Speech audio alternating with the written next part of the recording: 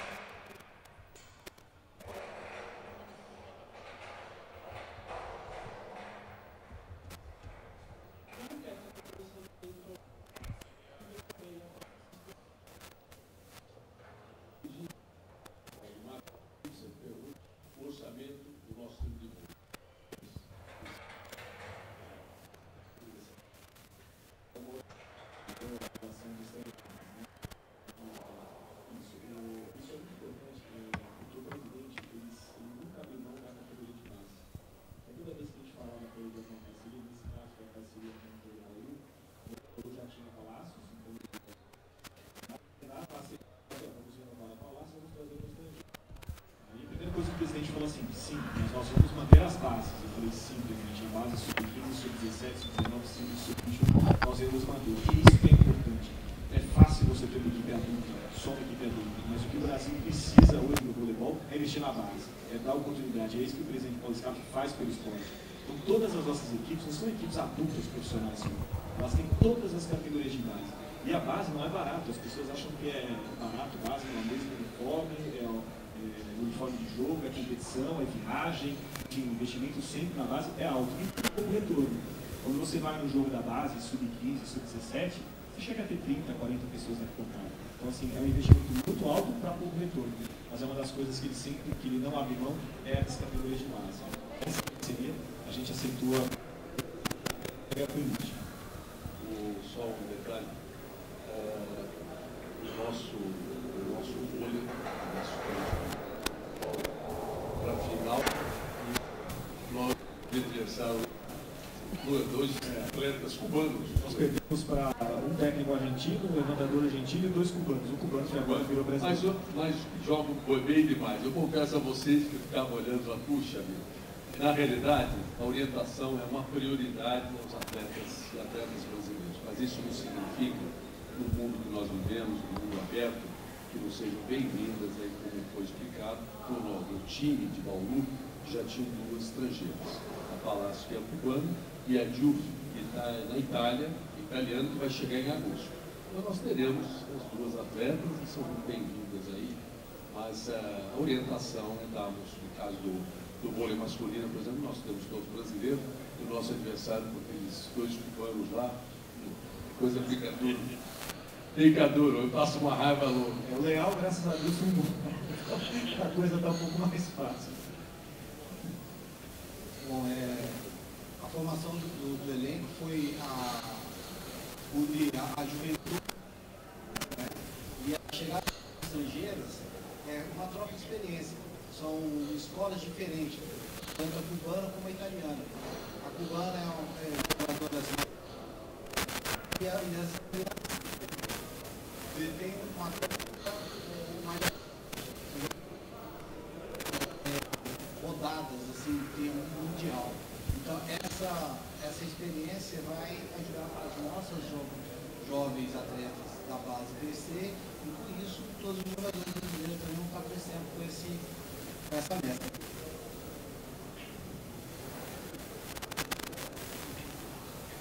Mais pergunta?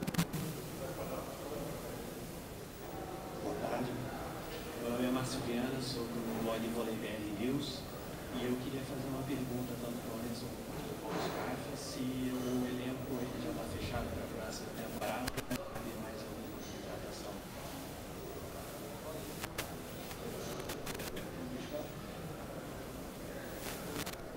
É, olha, o grupo já está fechado, né? o elenco é esse. É, mas não, não quer dizer que não possa surgir mais jogadores aí dentro da base que, que possa vir agregar é, coisas boas aí no grupo. Tá? Então a gente está sempre aberto. Naturalmente, hoje, atualmente o grupo está fechado, mas é, a gente nunca descarta a oportunidade. pode ser que apareça uma boa oportunidade, as oportunidades, como sempre, a gente tenta pegar. Quando nós lançamos o basquete, estava fechado, contratamos o Andrinho, veio lá dos Estados Unidos depois. Uma oportunidade, ninguém imaginava que ele Há muito, quisesse jogar no Brasil. há muito dinamismo dentro do SESI, não há não é um modelo engessado, há muita agilidade. Então, a princípio, é, o time está fechado, mas sempre nós vamos estar abertos para melhorar em tudo a qualquer hora. né? Ele tem compromisso com um engessamento que não leve a uma melhoria se, se aparecer oportunidade. Resumindo, está fechado e não está, é ou é? O- Então, agradeço a presença de todos. Se tiverem mais alguma pergunta, podem fazer individualmente para cada um. Muito obrigado pela presença de todos. E encerramos aqui a coletiva. Mais uma vez, obrigado, Paulo Scarfe, por acreditar no esporte e investir no voleibol feminino.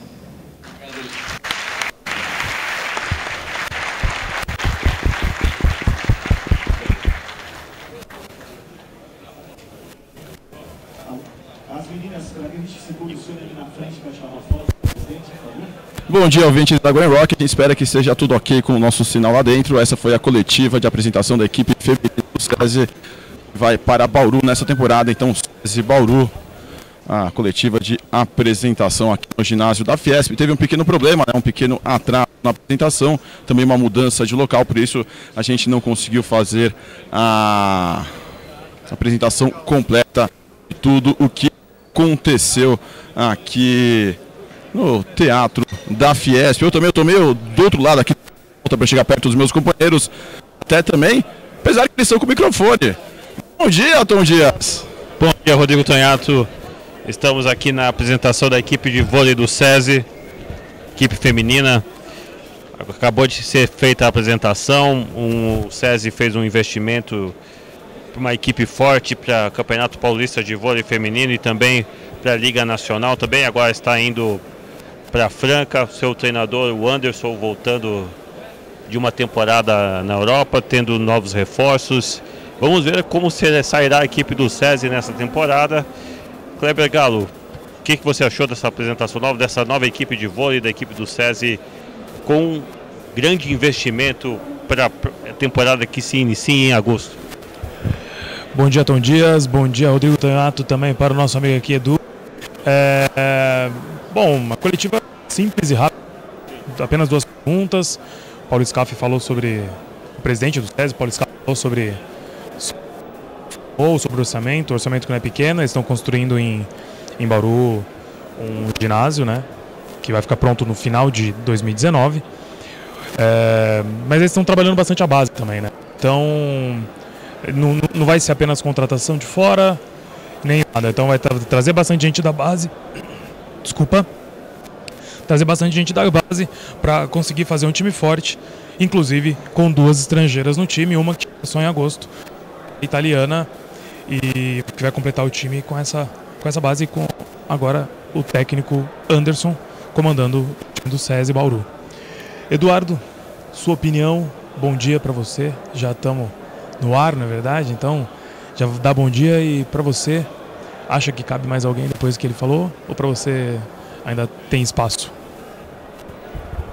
Bom dia, Kleber. Bom dia a todos. É, Não, antes, breve. desculpa te cortar, Eduardo. É, tem rumores que a Central Vivian vai vir para o SESI, né? Até por também a questão dessa pergunta, então talvez o elenco não esteja fechado. Desculpa te interromper. Bom dia, Eduardo Mares. Bom dia, Rodrigo. É coletiva breve, né, Kleber? É uma mistura, né? Uma mescla de jogadores experientes com muitas jogadoras da base. É o técnico Anderson vai ter um bom material humano agora. E como ele falou, né? É, se caso aparecer uma nova jogadora, pode, pode dar espaço no, no time do SESI, né? É isso aí, Tom Dias. É isso aí, obrigado Eduardo, obrigado Kleber. Eu acho que ainda tem espaço para esse elenco.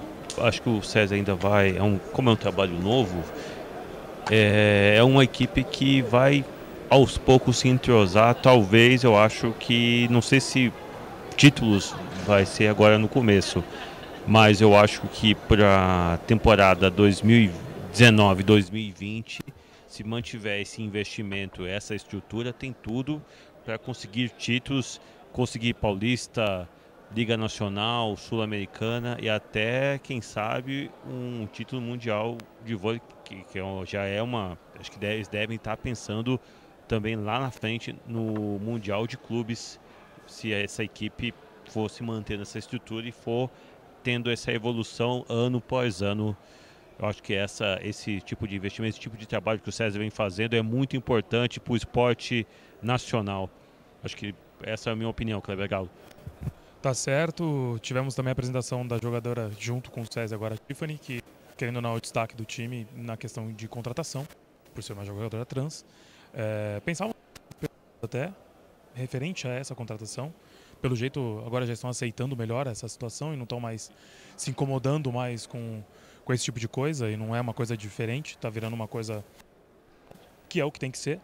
É, daqui a pouco as meninas vão vir aqui para conversar com a gente, tanto jogadoras da base ou jogadoras do time também vão vir aqui.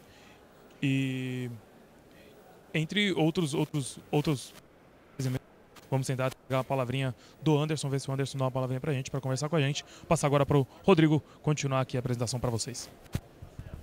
Então, muito obrigado. Este é o Ciclo Going Rock. Você ouvinte participa da transmissão pelo nosso WhatsApp. Anote o número, é o 11 9 98778 11 97999 Já se quiserem se acomodar, tudo bonitinho para vocês. Ah, só vou dar aqui uma dica no ar: o microfone vermelho você tem que aumentar no máximo lá quando for usar. Aí quando a gente tiver a palavra de alguém, a gente interrompe vocês lá e vocês têm o tema livre, hein? Que beleza, hein? Hoje vocês podem ser mais lá societá, por favor, não. O possível aqui no nosso debate. Então, era aqui a palavra. Ah, professora do SESC para. Só deixa eu passar aqui o microfone para eles. Não, não podem ir, podem ir. Vou me virando aqui, eu vou conversando com a Amanda ao vivo mesmo. Pegar a Vanessa, então a Vanessa vai aqui conversar conosco enquanto o pessoal vai esperando ali para se posicionar na mesa, continuar o nosso programa. Então vai chegar aqui a Vanessa. O pessoal já está reclamando aqui que vai dar entrevista para mim. Olha, o pessoal lá do Pinheiros não gosta de mim, viu? O pessoal chegava perto de mim e falava, puta, esse cara é de novo. Então, segue o jogo. Então, uma brincadeira. E a Vanessa. Você é uma das melhores ponteiras, né? Melhor passadora já do, da Superliga há um bom tempo. Só que agora, finalmente, você está num time que vai brigar por títulos. Qual a expectativa? Bom dia. Primeiramente, lá no Pinheiros, todo mundo gostava de rádio, então é mentira o que ele falou. É, então, essa nova fase aí no SESI Vôlei Bauru, as expectativas são as melhores possíveis, né? A junção do elenco do SESI com o Bauru, eu acho que só tem a, a crescer dentro do voleibol nacional e talvez mundial, né? Então, da minha, da minha parte, a expectativa, eu, eu sofro de ansiedade, né? Então eu estou bem ansiosa para o começo dos trabalhos, para ver como que vai é, ser o andar da, da carruagem. Porque você vai muito bem ali. Né? É uma briga muito grande, né? São muitas atletas de qualidade. Você já conversou com o Anderson? Falou, Anderson, a vaga é minha? Não, de jeito nenhum. Eu acho que a gente tem que conquistar a vaga dentro de quadra, nos treinamentos. A gente tem que correr atrás todo dia. Não é porque eu sou boa de, de um fundamento que eu vou me garantir. Então, você tem que estar sempre correndo atrás e dar o seu máximo nos treinos, principalmente, porque a vitória no jogo é uma consequência. O que eu acho que faz você evoluir são os treinamentos mesmo, dia a dia nova, nova vida? Como que é de novo você? Tá tudo bem que atleta já está acostumado, você saiu da sua casa cedo, já rodou bastante, veio para São João, voltou lá para o Rio do Sul, agora Bauru. Como que... Putz, tudo de novo. Então, todo ano é um recomeço, né? Mesmo você ficando às vezes no mesmo time renovando, é um, um recomeço. É, eu já fui para Bauru, né? Estive lá no final de semana. Eu acho que eu vou me dar super bem porque é uma cidade pequena, é, pequena não, do interior. Eu sou do interior de Santa Catarina também. Então, saindo desse agito de São Paulo, eu acho que eu vou me dar super bem na cidade. Quer fazer alguma pergunta? Ah, então obrigado. Mas já aproveito aqui fazer a pergunta então para a Vanessa. Tudo bem, Vanessa? Pois é, estamos aqui. Olá, ouvintes também de novo, né? Voltei aqui perto de todo mundo. Vanessa, é, sua expectativa para o ano, pelo que eu ouvi, você falou que está muitos títulos e, e, ter sucesso no SESI.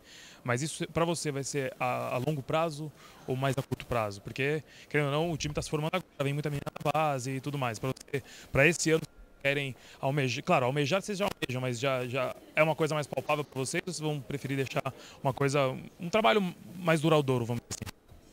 Eu acho que isso só o tempo dirá, né? É difícil a gente falar que é, vai ser a longo prazo ou não, porque a princípio a gente vive um ano de cada vez, de cada vez e a gente tem essa temporada para mostrar o nosso trabalho. Se der certo a gente fica, senão a gente vai. Então eu acho meio meio difícil você falar se vai ser a longo prazo ou não, mas é, eu penso a longo prazo. Vai ficar bastante tempo lá então, pelo jeito. Pretendo, pretendo. A gente tem que liberar Vanessa, mais uma pergunta, só pegando o gancho aqui na pergunta do Kleber. É uma Superliga muito forte esse ano, o SESI está montando um time forte, o Osasco teve muitas perdas, mas também tem toda a base que permanece lá. O Zé Roberto está formando um time forte em Barueri, a Natália no Minas, a Gabizinha, o pro Praia, atual campeão. Chegou até a Cocheleva lá no Sesc, então é um nível fortíssimo nessa Superliga. E aí? Você falou que não quer pensar não muito a curto prazo, mas e aí? que a Superliga fica bem equilibrada. Né? Eu acho que essas contratações aí, os times se mexendo bastante, só vai ser. É, é uma mostra de que a Superliga é equilibrada. Vão, vão ter bons jogos e para o espectador, para a pessoa que for acho que vai, vai gostar do que vai ver. Obrigado, Vanessa. Ela vai fugir hoje da pergunta da Tiffany porque ela tem, ela tem horário para cumprir aqui. não vai entrar em problema com a sua nova companheira. Obrigado, Vanessa, então, nova jogadora do SESI Bauru. Daqui a pouco.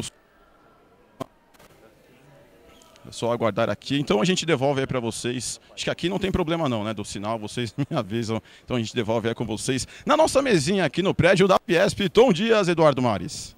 Obrigado, Rodrigo. Segue aqui a nosso debate. Eu aqui, o Eduardo Mares. Aguardando vocês aí ótimas entrevistas coletivas aí com os jogadores da Superliga Feminina. O Kleber já está se aproximando aqui para nós começarmos o debate aqui. Já vou interromper vocês de, de novo, porque a Nayane aqui também vai fazer o exame médico agora do SESI, mas estava aqui de boa. Eu sempre falo, quando o jogador fica panguando aqui na, na quadra ou quando tem entrevista, vai ser pego aqui pela gente. Nayane, bom dia, obrigado por dar a palavra conosco. Novo desafio você já saiu do Minas, time grande, chegou para o Barueri, né, O projeto também que era começo ainda, mas também para brigar por títulos. Agora o SESI que já chega na porta, né?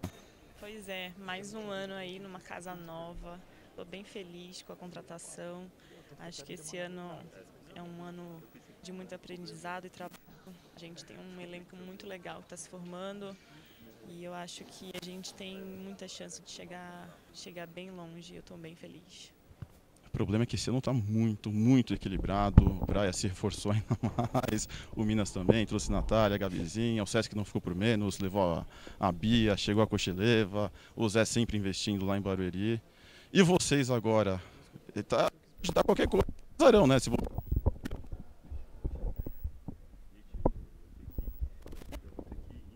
Muito importante. O investimento está acontecendo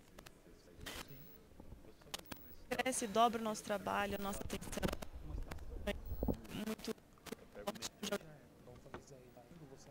ainda. Acho que nato espetáculo ainda mais bonito, mas é um muito trabalho, como eu falei, e justamente por esse equilíbrio torna as coisas mais mais trabalhosas, mas é o que a gente tem que encarar e estamos pronto. A sua grande temporada, há duas temporadas no Minas, de credenciaram como futuro da seleção brasileira, né, na posição de levantadora. Só que você sofreu bastante com contusões o ano passado. Aí você vem para esse projeto e tem a Fabiola, né? É, você espera o que de tempo de quadra, né, já que a concorrência vai ser bem grande?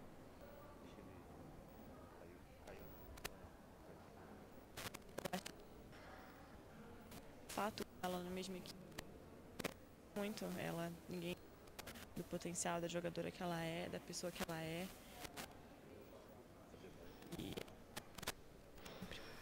Obrigado, Daiane. Você tem que pegar o bonde ali, né? Então, obrigado, Daiane. Bom exame médico para você. Tudo bem, Kleber? Tom Dias. Então, a palavra é sua, Tom. Olá, Rodrigo. Eu só queria agradecer aqui por participar desse participar desse dessa apresentação da equipe de vôlei. Infelizmente eu tenho um compromisso, vou ter que ir já saindo e vou deixar passar a bola aqui com, com o Eduardo aqui na, na, na mesa junto com o Kleber Galo e você daqui a pouco pegando as entrevistas dos jogadores da equipe de vôlei do SESI. A gente aguarda na próxima, a gente participa do debate junto com os caros colegas aqui. Já deixo o meu grande abraço e deixo a bola aí com o Kleber Galo e com o Eduardo Marques aqui na mesa, Rodrigo, Rodrigo Tenhato. Grande abraço. Já vou até pegar o seu microfone mesmo para falar, que tá muito mais fácil. Tá me ouvindo bem aí, Edu? Tô te ouvindo sim, Kleber. Então tá certo, vamos começar hoje então aqui o debate do ciclo Gol e Rock aqui no SESI, no Fiesp, apresentação da, do elenco do, do vôlei, do novo uniforme delas também, presença ilustre do, claro, o presidente Paulo Scaff, entre outras pessoas, tanto da área da, da- do SESC quanto lá de Bauru também, não é? Tom Dias, até mais, nos vemos, vai, vai transmitir o que agora? Qual, qual é a próxima? Não, não, a próxima aqui, aqui no, no, no- na Goi Rock, qual vai ser a sua próxima transmissão? Sabe já não? Então, Ainda um- não saiu a escala, né, Tom? até- então até um dia desse uma transmissão dessa, não é verdade? Quarta a gente se fala, se fala na NBA à noite. Ah, quarta-feira, verdade. Quarta-feira tem NBA pra continuar a saga de LeBron James, que tá sofrendo com o seu pequeno Curry. Ele, o chacalaca, que nem diz nosso amigo Rômulo Mendonça. O. O brinquedo assassino, o veneno de jararaca. Pois é, então dias até mais a mais, gente valeu. se vê.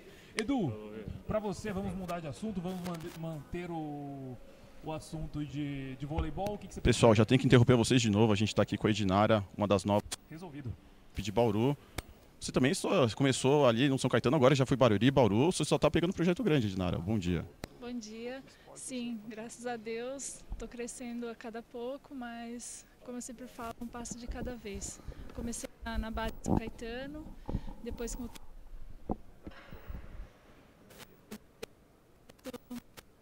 indo para Bauru. Você vai para a seleção, tá pan-americana, né? estadual. Então, eu não sei ainda, mas eu vou para a Copa Pan-Americana, que é o mês que vem, né? Na República Dominicana vai ser, do dia 6 ao 15 de julho. E, mas aí mais pra frente vai ter o Montreux também e o Mundial. Aí a gente espera estar nessas convocações, né? Vamos esperar para ver. Tá- Edinara atuou como técnico. E até por isso que eu pergunto, Edinara, ficar muito longe agora, muito, é, muito longe da sua equipe, neste momento de preparação pode ser prejudicial, porque a concorrência aqui é gigantesca, né?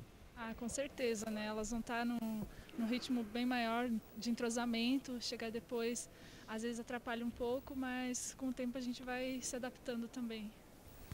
Tá, então vou pegar agora o do- a sua passagem em Barueri ano passado. Porque você chegou no seu primeiro jogo, é, o pessoal que foi fazer o jogo comigo aquele dia, aí não fazia. Eu sou a primeira partida da temporada né, lá em Barueri. Só que com o passar do tempo você acabou perdendo a Povronska. Você também tem esse medo aqui em Bauru pela concorrência? Tenho. Eu acho que é o medo de todo atleta, né? Porque a gente nunca pode parar de lutar pelo obje- nosso objetivo. Às vezes, queiram ou não, é uma escolha da comissão técnica, não é nada entre a gente. Mas eu bu- vou buscar estar entre as titulares sempre. Agora já conversou com o Anderson, ele te apresentou como ponteira. Você ponteira, você vai ficar como oposto, você vai colocar a dúvida nele você fala, não, quero, só quero atacar. Eu acho que vai depender deles também, porque como eu falei, eu posso posso jogar de ponta como de oposta também. Aí vai depender da escolha deles. Você acha que não vai ter problema aqui de adaptação, né? Porque já tá aqui conversando com a Andressa, já tem a Nayane também, suas companheiras. Mas como que é sempre chegar no novo time? Você que é lá do sul. Todo mundo é do sul. Você percebia que a maioria das jogadoras são do sul aqui que jogam no voleibol brasileiro, né? Até pela questão também da, da genética, né? Mas como que é agora você vai para Bauru, uma nova cidade, você que morou praticamente todo o tempo aqui, São Caetano, Barueri, que são uma cidade perto da outra, agora você vai lá para Bauru, cidade quente, muito quente. É, vai ser uma questão de adaptação, né? Eu já conheço a maioria das meninas também, já joguei junto, mas as que eu não conheço, estou tendo amizade agora, tendo, tendo a primeira conversa, mas acho que vai ser bem bacana. Pessoal, eu sei que a Dinara é um pouco tímida, mas dela a gente não vai ter que fugir da pergunta. Tem uma companhia com todo mundo que, que fala o passado. É... de confusão. Tô formular uma pergunta não vai ter jeito. Eu sei que você vai falar que não tem problema nenhum, é, mas o ano passado, né, muita, muitas pessoas falavam uma questão fisiológica, que ela tem mais força. Isso é positivo para o seu time. Mas de outro lado, não acaba. É, como que você vê essa questão? Ah, o time que está com ela, obviamente, vai se sobressair mas outro time não. É, porque toda a questão que ela teve, um corpo de homem, né, só com o decorrer da carreira que ela virou mulher, né? Tudo bem que está tomando hormônio, mas a gente vê, né? Ela é mais, é mais forte que o Kleber, né? Que é, tá um pouco é, fortinho lá. Como que você vê a questão da Tiffany, Dinara? Eu tentei rodear, rodear, não, não consegui não te colocar em apuros. Ai, meu Deus, é uma questão difícil, assim, ano passado causou muita polêmica, todo mundo comentava até esse ano, acho que ela ia até ser inscrita para a seleção, a Federação Internacional não, não liberou, eu, né? Mas eu sou favor, assim, tudo bem que ela tem o porte físico é totalmente diferente do nosso, mesmo a gente malhando, malhando um monte, não vai conseguir ter a força que ela tem. Mas assim, jogando do meu lado, eu, gosto, assim, jogando no meu time. Já era de se esperar essa resposta, né? A sorte que eu não peguei pesado com você. Então, obrigado, Edinara, sempre solista aqui com a gente, participando do nosso ciclo. É com vocês, Eduardo e Kleber. Pois é, vamos dar continuidade então aqui no ciclo Goi Rock. Vamos começar com o primeiro assunto, que vai ser quem, Eduardo Mares? Vamos falar do clássico, Kleber? Ah, nada mais pedido, né? Poxa, sabadão, nove da noite, clássico no Allianz Parque, Palmeiras e São Paulo. Palmeiras começou perdendo, mas depois conseguiu virar o jogo para cima do São Paulo. Suas observações sobre o clássico?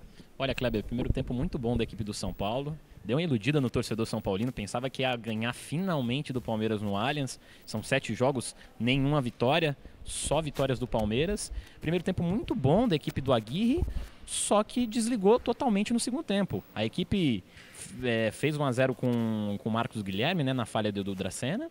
Chegou, é, teve chances Pessoal, de fazer desculpa te interromper, estamos aqui com, espero que eu sempre erro o seu nome, Andressa, acertei hoje, Andressa, graças Continua aí, Rodrigo. Você é uma remanescente da equipe, como que você vê esse time tão forte agora brigando por título? Eu sou muito grata por ter continuado no projeto, é, conheço, já conheci a estrutura de Bauru e agora com essa verba que entrou, a gente pode nossa equipe, eu acredito que vai ter muito para crescer esse ano, para evoluir e para ganhar como grupo, como porque nosso time ficou forte, ficou, vai brigar pelos títulos esse ano. E feliz e esperamos resultados positivos. Fazer a pergunta diferente que o vice-presidinária, ela vai sair, vai para a seleção, então ela vai sofrer um pouco no começo, né? Porque vocês vão já estar tá num ritmo diferente de treino até para jogar. Você não, você não vai ter tanta concorrência agora no começo, né? Porque a Sarellen e a Valkyria estão com a seleção. Para você te ajuda? Ah, eu acho que a gente não ganha em seis, não ganha. Em, a gente ganha em 12, né? É, a competição é muito longa e a gente precisa de todas para jogar, né? Vai, vai, todo mundo vai jogar, todo mundo vai ter oportunidade, eu tenho certeza disso. Vai estar lá brigando pelo seu brigando pela camisa, fazer o nosso Andressa estava saindo, puxei ela, mas só uma pergunta que não vai ter como fugir da Tiffany. Qual foi a sua convivência com ela no passado? Toda essa polêmica que as adversárias não queriam que ela jogasse, mas para vocês ela foi muito positiva, né? Até que deu aquele crescimento depois com a chegada dela. É, eu entendo a luta dela, eu sei por tudo que ela passou, assim, e ela deve passar por muita coisa é, ainda, agora, depois da transformação dela. E, assim, ela buscou isso delas não tivesse condições de atuar na quadra, se ela não tivesse condições de jogar, eu tenho certeza que ela não jogaria. Então, se tem outras meninas que têm a intenção de, de jogar e tiver o nível que ela tem, ou tanto sendo ou não trans, vai ter oportunidade. Então, ela teve a condição de jogar, ela se deu, ela teve o trabalho dela, ela teve que treinar, ela chegou lá e ela teve a oportunidade e conseguiu. Obrigado, Andressa. Desculpa interromper. Vocês estavam indo embora. é com vocês, Clever e Eduardo. Continuando então sobre o clássico Edu. É... O, Aguirre, o Aguirre montou muito bem o time no primeiro tempo. Isso é indiscutível. O São Paulo envolveu o Palmeiras no, no, no jogo deles e o Palmeiras, das últimas vezes, vem desesperado para os jogos. Então, agora a gente consegue dar uma animada de novo? O, a corda bamba do Roger já virou cimento de novo para ele estar tá tranquilo? Ou não? Olha, uma vitória no clássico, Kleber, sempre dá um, é um respiro para o técnico que está na corda bamba, né? No caso do Roger. Ele segue no, Palme segue no Palmeiras. É, muitos comentários que caso o Palmeiras perdesse no, no sábado, é, não ficaria no cargo, né? Com essa vitória sobrevida é, do Roger Machado no comando técnico do Palmeiras. O primeiro, o, se o primeiro tempo o Palmeiras não jogou bem, o segundo tempo não precisa nem falar, né? Deslanchou. O William, bigode, dois gols. Dudu, num contra-ataque puxado pelo Moisés. Num gol de cabeça, né? Num gol de cabeça. Daquele tamanho. Almanac, o contra-ataque, né? Do, do Moisés pro Johan. O Johan chegou na linha de fundo, cruzou de peixinho o Dudu. É, o, o, o, que espanta no São Paulo é como não conseguiu manter o ritmo do primeiro tempo para o segundo, né? Se o ritmo físico é difícil manter, pelo menos o tático, que não conseguiu manter. Primeiro tempo muito bom, segundo tempo o São Paulo não apareceu. E aí sobrou Palmeiras e a vitória foi merecida, apesar de alguns lances polêmicos, né? É, isso, isso é indiscutível, reclamação de impedimento e etc. Mas são reclamações que sempre vão ter em qualquer, em qualquer clássico, seja seu time prejudicado ou seu time beneficiado, vai ter esse tipo de discussão. O juiz está sujeito a isso, parece, né? Você achou que estava impedido o segundo gol?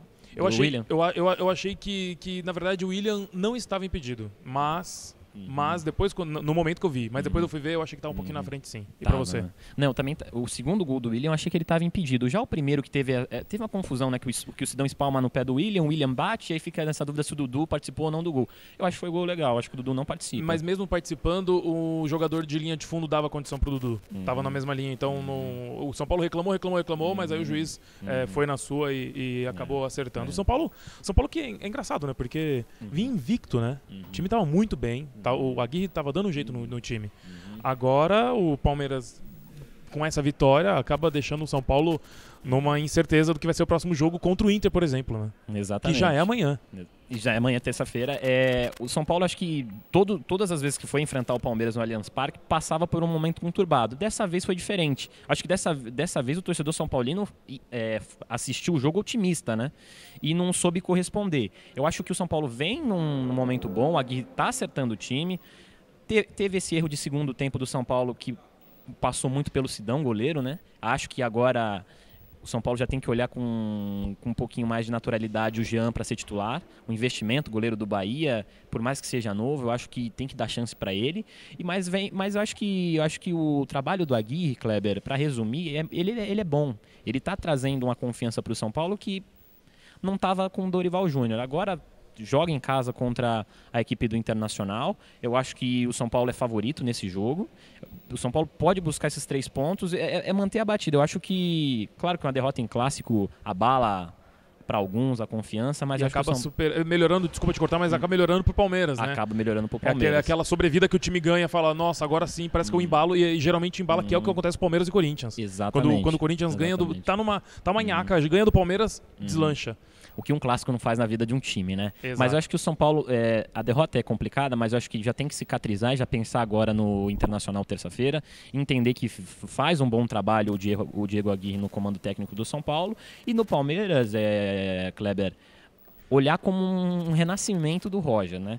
Vinha num, vinha num momento difícil, complicado, agora a vitória dá uma moral, e vai pegar um Grêmio que vem de vitória, né? Então, nada melhor do que antes de pegar uma, uma pedreira, vir com moral com a vitória no clássico, né? É, e o Grêmio que é um time muito difícil, né, de jogar, principalmente lá em Porto Alegre, o jogo é lá, né? Exatamente. Então, o Grêmio que vem de vitória do Bahia, fora de casa. 2 a 0 2 a 0 e caiu o Guto Ferreira, né? Caiu o Guto Ferreira, mais um técnico caindo, né? Pois é. O, a gente falando a questão de técnicos e tudo mais, técnicos que estão na, que estão na Berlinda, né, que estão em zona de risco nos times, a gente pode falar, por exemplo, também de outro que ganhou uma grande sobrevida no jogo de ontem, né, que foi o Jair Ventura. Olha, Kleber, é, o Jair estava muito pressionado. Viu? Tudo bem que bateu, o Santos ganhou de um time. A goleada é, é, é muito importante, mas ganhou de um uhum. time que não vem. Que vai brigar pela parte de baixo da tabela. Exatamente. Vai brigar exatamente. contra o rebaixamento, que é o Vitória. Mas assim, é, é uma vitória que dá muito. Se foi um respiro pro Roger, pro Jair nem se fala, né? O Santos teve essa invasão no, no sábado no CT.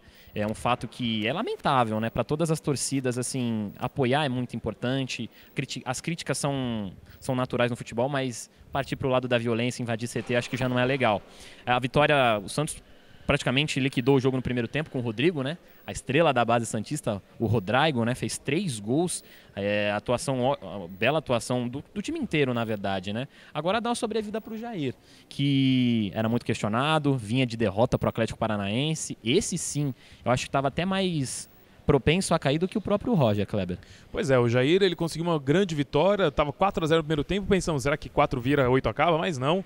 Acabou fazendo mais um gol apenas no segundo tempo e tomando dois do Vitória, com uma bobeira da zaga, pelo menos no segundo gol, na minha opinião, foi uma bobeira da zaga do Santos. Mas o Santos também já estava relaxado, estava ganhando de 5 a 1, então não tem problema de, de, de, ter tomado, tomado o segundo gol. O Jair ganhou uma, ganhou uma sobrevida sim, uhum. mas é o que eu falei, acabou ganhando de um time que está na zona de baixo, na parte de baixo da, da tabela e que vai brigar para não cair para a segunda divisão. O Jair, o próximo jogo do Santos Será que ele consegue manter essa levada? Claro, muita gratidão ao Rodrigo, né? Mas será que no próximo jogo o Santos consegue ter sucesso? Olha, na, e assim, essa vitória é importante porque quarta-feira o Santos pega o Corinthians na Arena Corinthians. Então, assim, é o embate de um, de um treinador jovem também, que é o Osmar Loss, que vem de derrota para a equipe do Flamengo muito criticado domingo pelas alterações. O Jair é um teste de fogo para a equipe do Santos, Kleber. Vai jogar no Arena Corinthians praticamente lotado, acho que os ingressos vão praticamente estar esgotados para esse jogo. É um teste de fogo para a equipe da para a equipe da Baixada. É, acaba, acaba sendo um teste de fogo para os dois, né? Tanto para o Santos e, e quanto pro Corinthians. O Corinthians joga em casa, a gente já vai mudando. Tá sendo bom de, de fazer o programa assim, porque a gente já vai mudando dos times rapidamente, né? Exatamente. Não tem mais aquela discussão, ficar desenvolvendo muita coisa, porque também tem, não tem muito o que falar dos jogos que aconteceram nesse final de semana. O Santos já vai, vai pegar o Corinthians na, em Itaquera. Pro Santos, que já vem embalado, e o Corinthians, que vem de uma derrota lá lá no Maracanã para o Flamengo por 1 a 0 um jogo muito disputado, onde até comentamos antes da transmissão, até falei uhum. é, que para mim foi um jogo muito bom de assistir.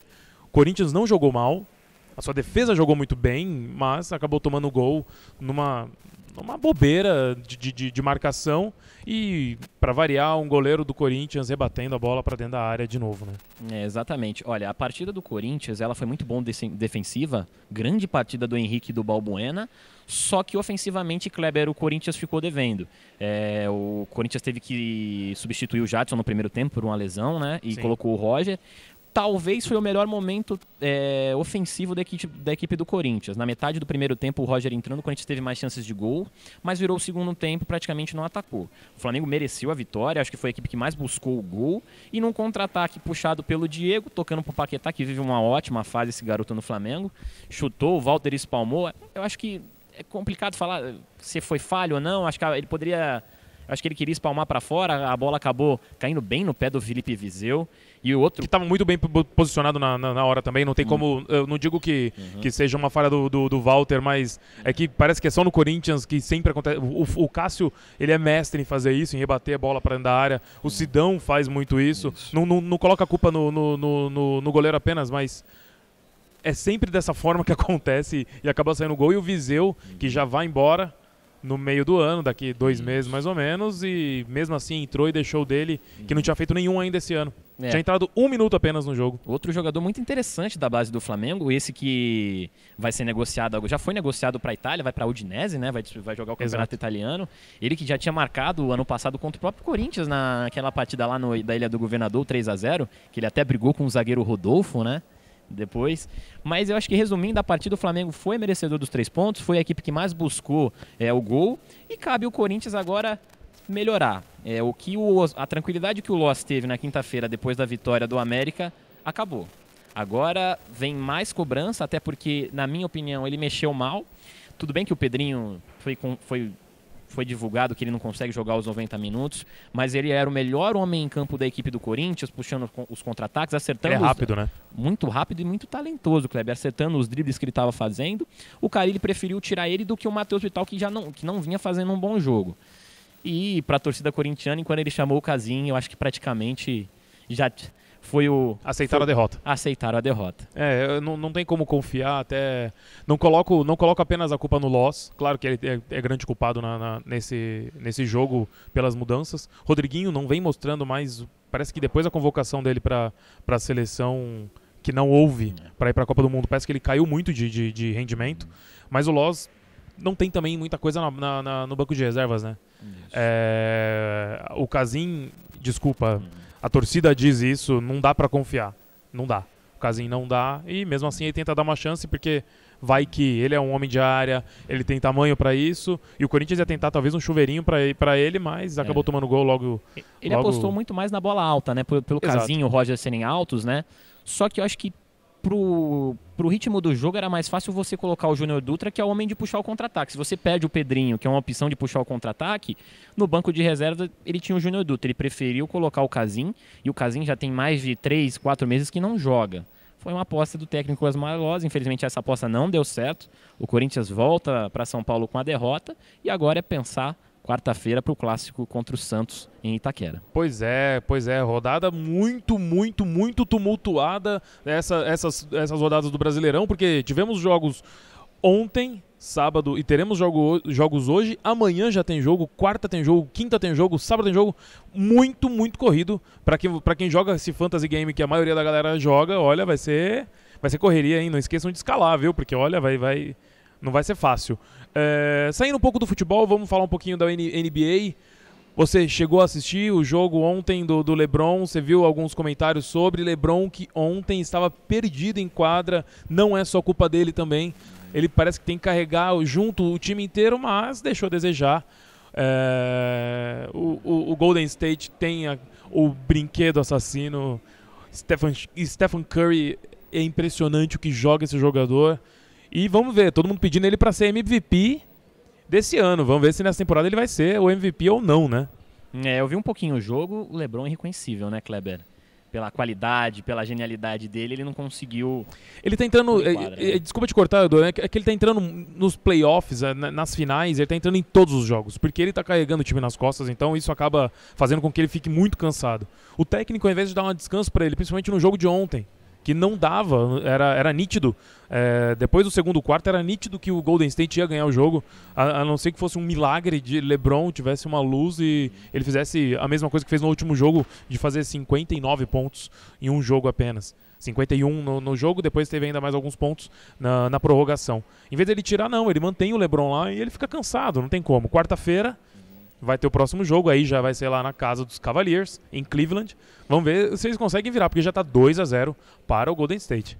É, num, num dia infeliz do LeBron, né, Kleber? Do outro lado, apenas Stephen Curry pra decidir a parada, né? É, ele é brincadeira. Ele caindo, ele jogando, jogava bola com alguns lances que ele jogava, arremessava de três e era splash. Não tinha como, como discutir. Kleber, Eduardo, desculpa te interromperem. Interromper Sim. os dois. Estamos aqui com o técnico Anderson Rodrigues. Segue de aí, volta Rodrigo. ao voleibol brasileiro.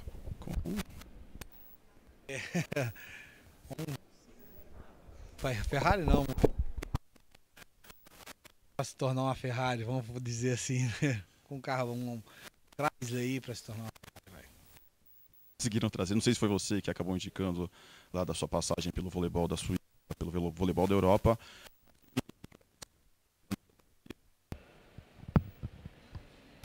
Acho que dá para trabalhar legal, tem várias possibilidades. É, a chegada da, da Diouf, da Palácio, as, as estrangeiras, é, vão contribuir né? Para as mais jovens, né? Para a experiência do time ali.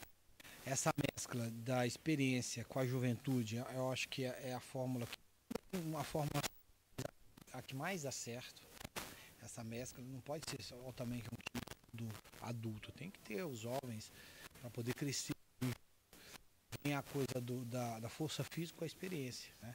O jovem tem a força física, as mais velhos têm a experiência. Então tudo isso contribui bastante. Cara, feliz. Fazer um trabalho legal, trabalhar, fazer essas meninas jogarem, fazer elas eh, tirar o melhor delas, né? dentro de todo o cuidado possível, tirar o melhor delas e, seguir. Esse aqui é. Esse é o objetivo.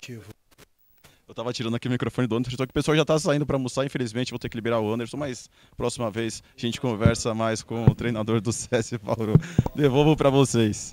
Muito bem, vamos seguir aqui então. Vamos voltar a falar de futebol, mas agora com outro foco, né, Edu? Vamos falar sobre Copa do Mundo. 10 dias para a Copa do Mundo de 2018 na Rússia. Estreia jogão Rússia e Arábia Saudita. Fortes emoções nesse jogo, né, Kleber Galo? Pois é, com presença de brasileiro naturalizado russo na seleção russa, né? Isso, foi confirmado hoje na manhã dessa segunda-feira, a, lista dos 23 convocados da seleção da Rússia, o ex-gremista Mário Fernandes. Ele que foi convocado em 2011 pelo Mano Menezes, rejeitou a seleção brasileira e se naturalizou russo, Kleber Galo. É, ele teria mais chances lá, né? Não tem como, querendo ou não.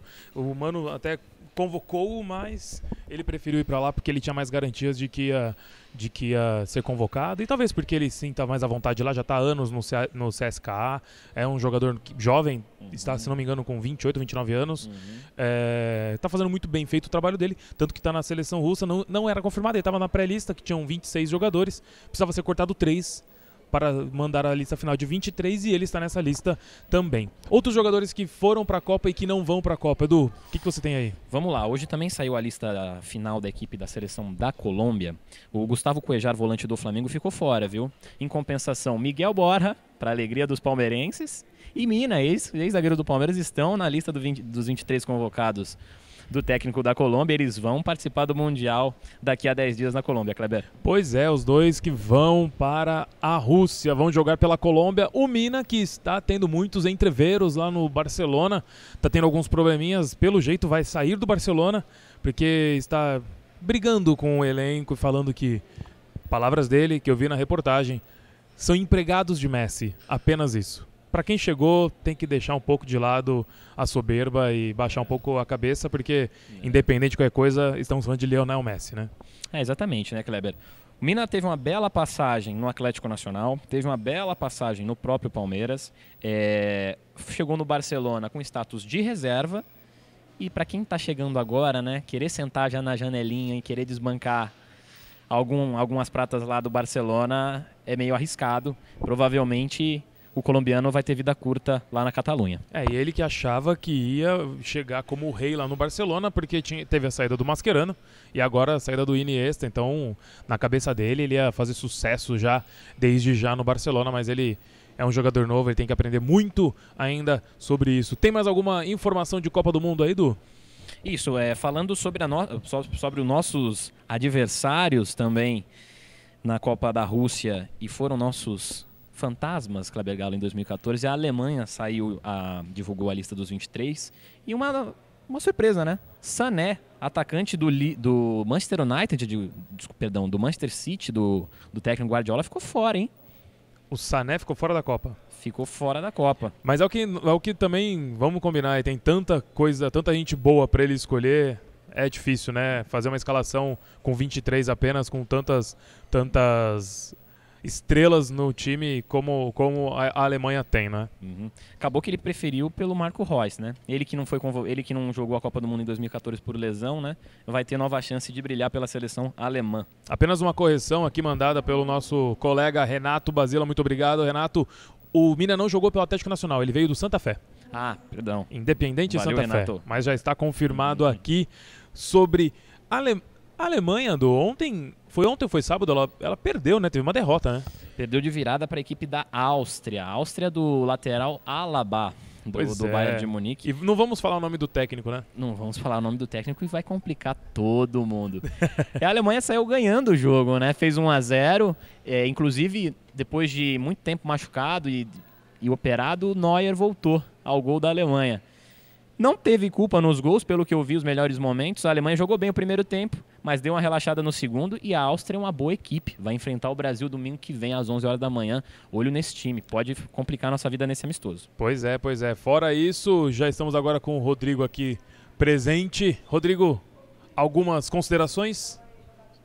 A consideração só desenferrujar mesmo a, a função de repórter. Fazia tempo já que não executava ali conversando. Acho que infelizmente as entrevistas saíram um pouco cortadas. Quando a gente deu, conseguiu pegar palavras de muita gente, faltou apenas a cereja do bolo, né? A Tiffany, que estava muita gente ali, o pessoal já tinha que eh, sair para almoçar. E também a Fabiola, a capitã Fabiola, campeã olímpica com a seleção brasileira. Mas a gente espera que seja o primeiro de muitos, né? Até para esse projeto de fazer mais programas assim, ao ar livre. A gente pega no parque, só precisa já uma tomada lá no Parque de Ibirapuera, mas a gente. A gente É. pode combinar, leva um, é, lanchinhos e tudo mais, faz um piquenique, um go e rock. piquenique. Perfeito. o programa, o nome até pro programa, Kleber Galo. Não é? Piquenique Going Rock. Pois é, pois é.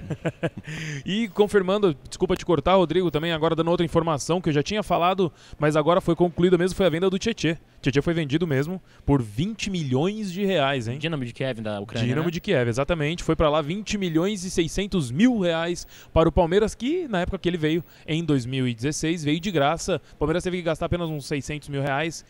Preço de banana, na verdade, para Titia Leila, quase nada. Teve que gastar só esse dinheirinho para trazer o Tietê com os seus empresários. Agora foi embora para o Dinamo de Kiev. E lembrando que o valor do Dinamo, que o Dinamo de Kiev vai repassar para o Palmeiras será 100% da equipe palestrina. Pois é, e tem mudança no, no, no time do Palmeiras aparentemente para o jogo contra o Grêmio. Parece que Roger Machado se permitiu a não colocar Lucas Lima nos treinos. Ele está preferindo agora, no último treino, colocou Johan e Moisés no time ao invés do Lucas Lima. Rodrigo, desculpa, é, tá pedindo passagem esses dois jogadores na equipe do Palmeiras, né? É, o Johan e o Moisés já, já, não, já há um tempo que vem jogando muito e a, queda te, e a queda técnica e tática do Lucas Lima já pede passagem para esses dois jogadores entrar na equipe, né? É deixar o Lucas Lima respirar um pouquinho, pensar um pouco. Dizem que ele tem problemas com é, internos, familiares, então vamos deixar ele ter esse tempo para cuidar. E, e quem está pedindo passagem, está dando seta para a esquerda, deixa entrar no jogo. Até essa pergunta, então, final de linha do Lucas Lima no Palmeiras? Porque o Moisés entrou muito. O Palmeiras também não fez um grande jogo contra o São Paulo, né? Acho que é o pessoal está né, Rodrigo? exagerando bastante, né? Fez um bom segundo tempo. Acho que é mais é, falta do São Paulo do que do Palmeiras, É, né? Exatamente. Mas ele foi importante ali naquele gol do Dudu, é, que sacramentou a partida. Mas o pessoal já vinha pedindo a entrada do Guerra, quem jogou foi o Moisés.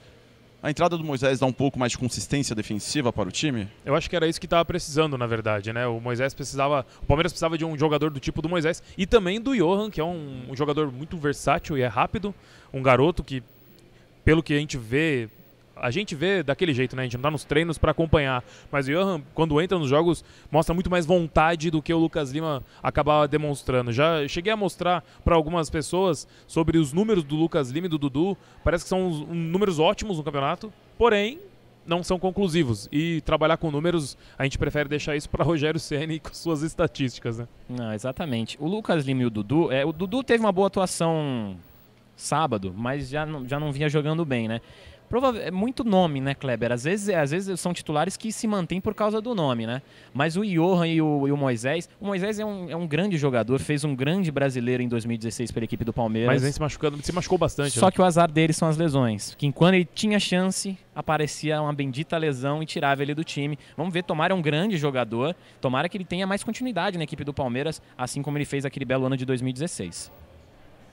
Se a reclamação da torcida era que faltava armação no time do Palmeiras, funcionou colocar um terceiro volante, né? Porque pelo menos se o time perdeu alguém, pens- alguém que pense o jogo, ganhou chegada, porque também assim libera um pouco mais o Bruno Henrique, que tem uma boa chegada além do Moisés, né? Isso sem contar o Felipe Melo, que eu ainda não entendo porque ele joga de primeiro volante no Palmeiras. É, eu também não consigo entender isso, até porque os passes dele são muito bons, ele tem muita qualidade no passe.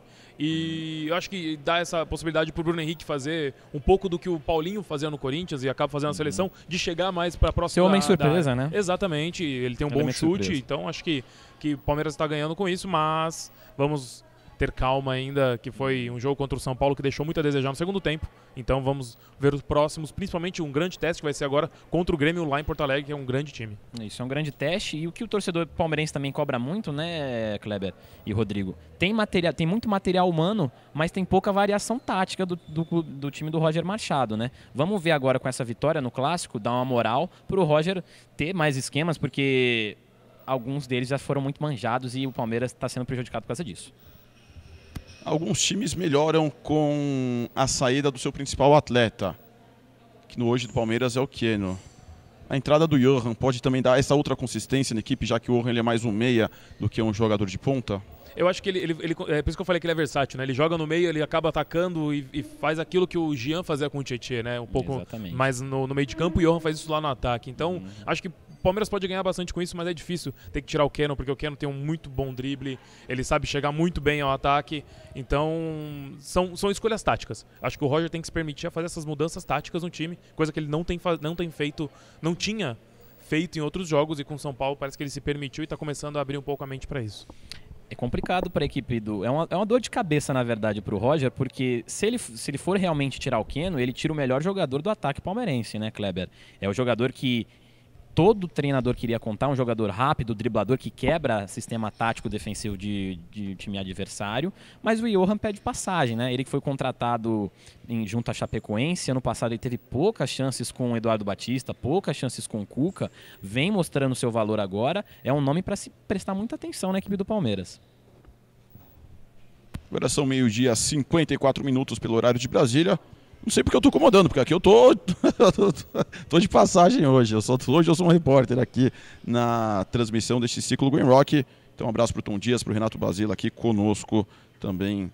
Tom Dias sempre presente, ele não fez um, nada demais aqui com os calipsos presentes. Se, se comportou? Não, ele, ele, respeitou bastante. Na verdade, ele foi embora antes, ele deu um azar, né? Ele, ele só viu de longe dentro do, do, do, do teatro aqui do SES, então ele não, não pôde fazer nada demais. Porque não são só jogadoras, né? Se você olhar aqui por aqui no prédio, é bem bacana. Né? Muito bom, muito bom. E mandar uma boa recuperação pro Renato, né? Ele que tá, ficou doente esse, esse fim de semana, né?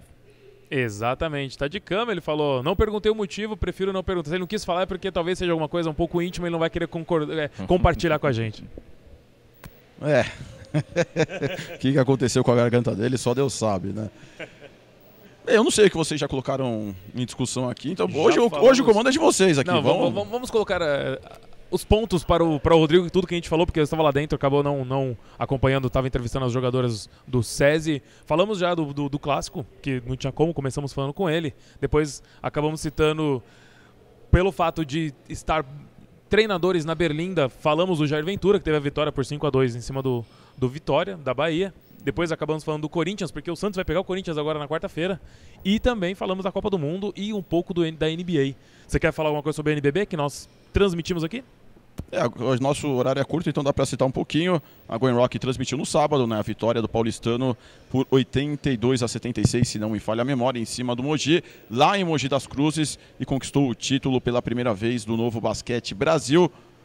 Só que a equipe já perdeu hoje o seu treinador, o Gustavo de Conte. O Gustavinho agora é o novo treinador do Flamengo, apesar de. Tem alguma discussão aqui que eu não estou entendendo. É, apesar de ele eu já me perdi aqui que eu ia falar. Então, o Gustavo é o novo técnico do Flamengo. Segue o jogo, então. É, mais título merecido. Paulistano campeão paulista, campeão do Novo Basquete Brasil. Trabalho bem feito. E, a, e aquela história. Ah, porque não tem muito investimento. O Paulistano não tem muito investimento comparado com o Flamengo, com o Mogi, com o próprio Pinheiros, que está trazendo jogadores mais renomados. E mesmo assim ele conseguiu dar dois títulos, já foi vice-campeão no passado, havia sido vice-campeão há algumas temporadas. Né? Então, é bom para. A gente fala muito de futebol, mas também para os times de futebol ficarem de olho. Né? Como que um, um técnico, um time com pouco investimento conseguiu investir na base, foi buscar o Iago lá no Palmeiras, mesmo, mesmo com 16 anos, trazer um jogador jovem para ele se aflorar. Como que essa equipe conseguiu fazer isso? Né? Às vezes a gente cobra muito, ah, o Palmeiras tem um grande elenco, o Flamengo investe muito e quem ganha é o Corinthians, né? Tem até essa discussão. Então acho que o brasileiro tem que parar de achar que a grife é quem ganha jogo, né? Quem ganha jogo é quem trabalha. Exatamente. Mais, todos trabalham, mas quem trabalha mais, quem trabalha mais sério. É, é o que o Edu acabou de falando agora sobre, sobre o Lucas Lima, sobre o Dudu, a questão de nome, né? Tem que parar um pouco de nome e ver quem está rendendo mesmo. Como, por exemplo, a gente acabou de falar do Johan, que estava rendendo muito mais, mas ele não tem essa grife toda que o Lucas Lima tem, não é? Não, exatamente. E por falar em base, Rodrigo, é... Sábado teve a final da Copa do Brasil Sub-20 São Paulo e Corinthians. Eu tive a oportunidade de ver o jogo e o São Paulo acabou vencendo por 4 a 0 e se sagrou, campeão da Copa do Brasil pelo, pela terceira vez. E tem bons nomes a equipe do São Paulo. O olho no o Aguirre pode ficar de olho na base do São Paulo, que se não tem um centroavante é, bom, o, tor o torcedor São Paulino não gosta do centroavante do São Paulo, pode ser que na base ache uma, uma boa o peça. O Toró disseram, disseram que jogou muito. O Toró foi não muito consegui bem. acompanhar porque eles estamos transmitindo o jogo. Uhum. O Toró disseram que foi um, um, destaque no jogo, né? Sim. Zaga do São Paulo também muito boa, muito boa. O problema do São Paulo é saber aproveitar essa geração, né, que está sendo toda perdida não só o pessoal da base, mas os contratados também, né? Porque virou uma terra maldita lá no Morumbi. Eu vou lembrar, não há muito tempo, o Evandro, um jogador muito bom da base do São Paulo. Hoje está no Odinese, nem teve chance na equipe profissional, né? Então, uhum. o, você vê, dá a chance para Shailon, Araruna, nada contra eles, né? Mas são jogadores que não estão à altura do time do São Paulo. Aproveitou os jogadores errados, né, Rodrigo? Acabou que os jogadores que realmente se destacam na base do São Paulo são vendidos. O caso muito famoso agora é do David Neres, que vem jogando muito bem pelo Ajax, né? Aqui o nosso companheiro Tom Dias, acho que dá para pegar nesse assunto, não sei se vocês já tocaram, ah, do Brasil. Não, não. Sobre a seleção? É, ele perguntou o que nós achamos do Brasil contra a Croácia. Brasil que venceu por 2 a 0 gols de Neymar, com seu penteado que mudou o jogo, Exatamente. e Roberto Firmino. O gol do penteado, né? Neymar voltando de lesão, o abraço, o primeiro abraço depois do gol foi, claro, no médico dele, nada mais justo. É, Neymar vai, pouco a pouco ele vai pegando, pegando sua confiança para voltar a jogar. Ele sabe jogar, tem talento, não adianta, isso é indiscutível. Mas o Brasil, no primeiro tempo, sofreu muito na mão da Croácia, que tem um time muito bem organizado, muito, muito aguerrido, mas não sei, o Brasil vai pegar a pedreira mesmo. Agora, acho que no próximo jogo, a Áustria, porque acabou de ganhar da Alemanha, aí o Brasil vai ser um pouco melhor testado num outro tipo de time, né? É. O primeiro tempo do Brasil em Anfield, lá em Liverpool, lá na casa do Roberto Firmino, né, do Bob Firmino, é, acabou que a Croácia jogou melhor que o Brasil no primeiro tempo. A Croácia teve mais chances de gol. Aliás, o Brasil foi tentar sair jogando. A Croácia apertou a marcação, teve erros de saída de bola do Thiago Silva, do Miranda. Quase, Muitos erros da zaga, né? muitos erros da zaga. Quase a Croácia faz 1 a 0 no primeiro tempo. E no segundo tempo entrou diferente, né? Entrou o Neymar, que, o grande, que, o- que a grande dúvida, né? Não é nem a lesão, né? Recuperado a gente sabe que ele tá. Agora é o ritmo de jogo que pega. E ontem ele mostrou que se ele tá com vontade, amigo, ele entra e decide o jogo. Pegou a primeira bola, primeira, segunda bola que ele pegou no jogo, passou por dois e fez um belo gol. O Brasil deslanchou depois do gol do Neymar. Primeiro tempo muito amarrado da equipe da Croácia. Fez, fez a vida do técnico Tite difícil lá em Liverpool. E será que o Firmino pede passagem no lugar de Gabriel Jesus com a marcação do gol?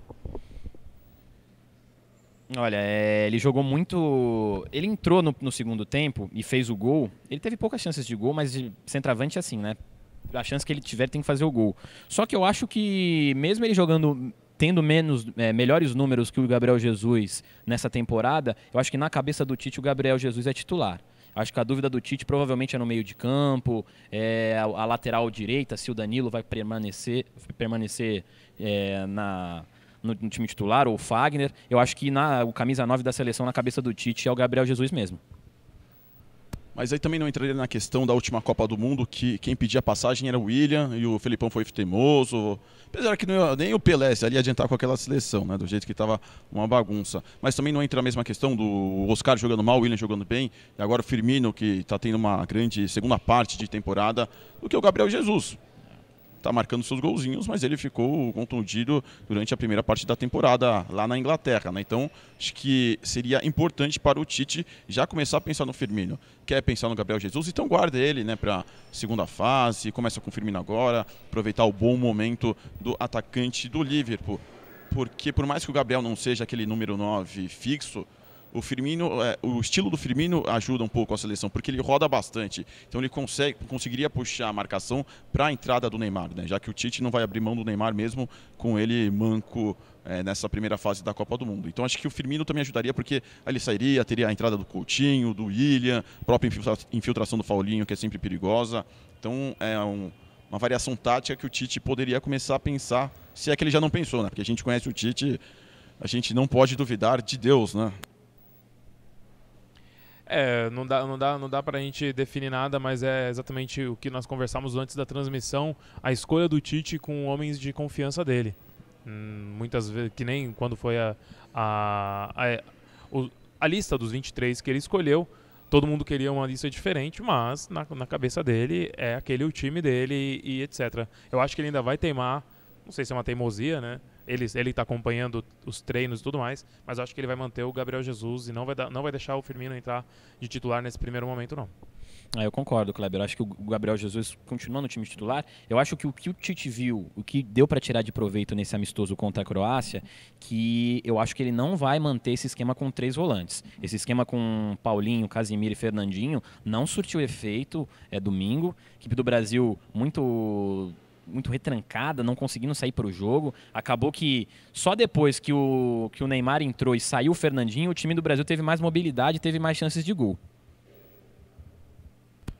Muito se fala na entrada do Fernandinho no lugar do Renato Augusto, mas quem ontem foi o melhor, eu não vi o jogo inteiro, né? Tava me preparando até porque eu fiz o futebol feminino ontem à tarde. Foi o William. O William foi o grande nome da seleção brasileira, pelo menos da parte que eu vi.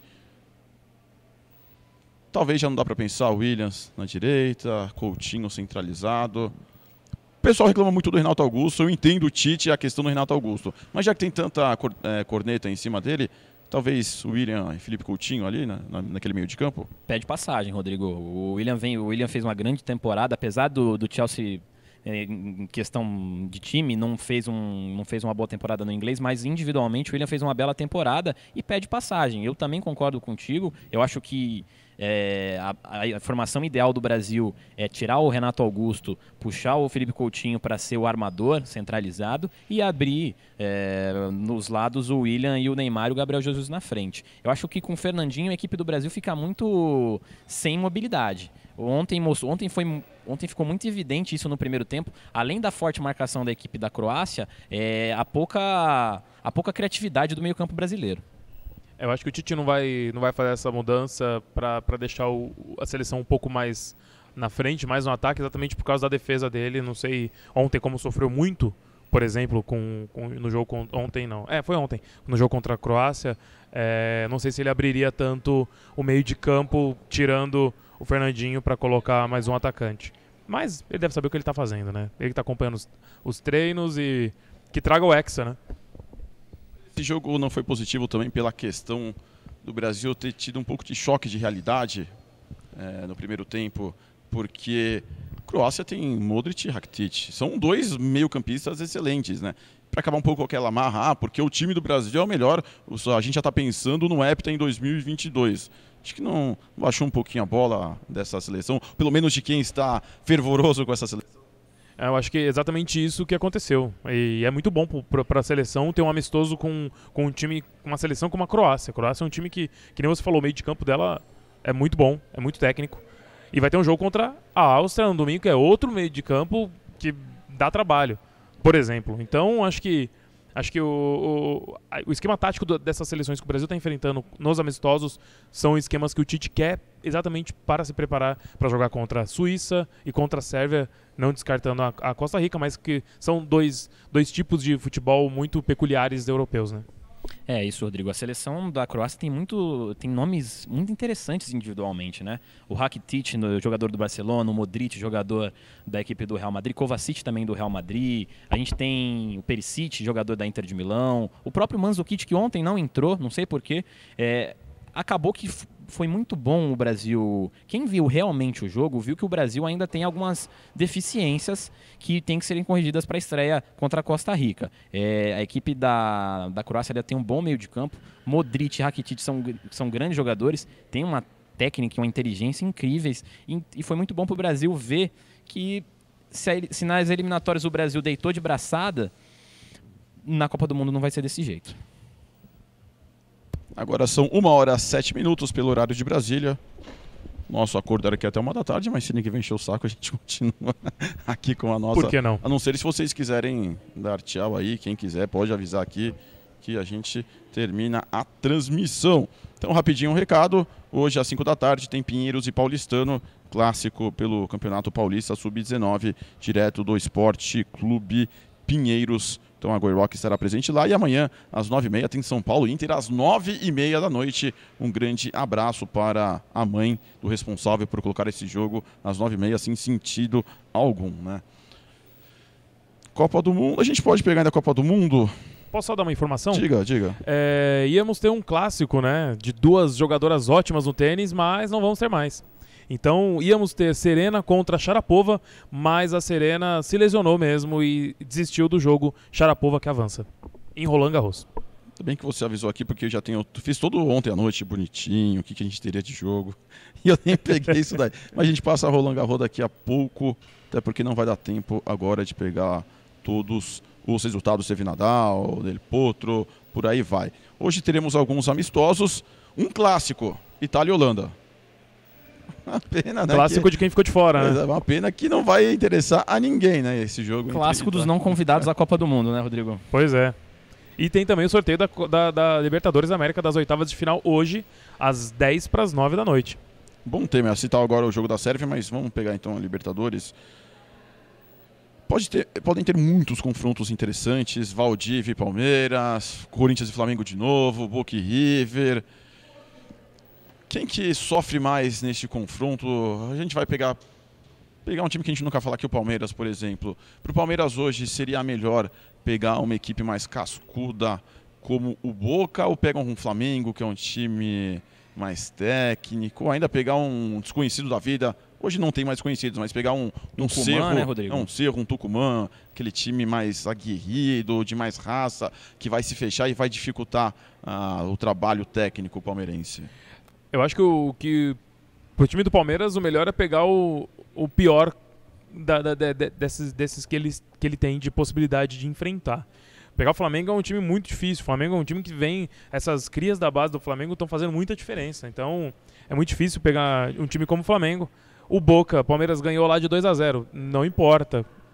O River Plate se classificou como o pior na Libertadores e acabou sendo campeão há anos atrás. Então acho que quanto, quanto menos qualidade no outro time, melhor para para enfrentar do que já querer, como alguns palmeirenses querem, já enfrentar o Corinthians. Já nas quartas de final, quanto antes. Mas eu acho que é muito perigoso, porque esse ano não vem com um bom histórico contra o time de Itaquera.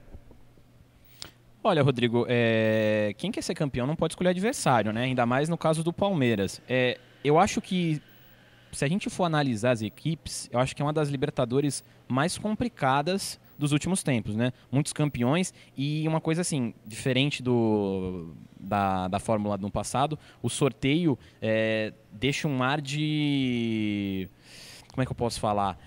Que a gente não, a gente não sabe o que pode acontecer. Se fosse no, no, no modelo antigo, o Corinthians pegaria o Flamengo. Mas agora o Corinthians ou o Palmeiras, ele pode, jogar, ele pode pegar outros adversários cascudos, né? O Boca Juniors, o Estudiantes, o Independente também, que é o atual campeão da Copa Sul-Americana. Os brasileiros não vão ter vida fácil nessa Libertadores, não. É, a sorte dos times que se classificarem em primeiro lugar na- nas suas chaves é que o, o jogador destaque do Racing não vai mais estar lá, né? Laurito Martins já foi negociado com a equipe da, da E Internacional já não vai né? jogar as oitavas de final. Então o Racing perde muito com a ida dele para a Internacional. Mas é um time muito bem treinado pelo Codê, né? Para quem se lembrar, é, o Codê treinou aquele Rosário Central que perdeu para o Atlético Nacional, que eram os dois grandes times né, da, daquela Libertadores, que acabou saindo com aquele gol lá no finalzinho das quartas de final.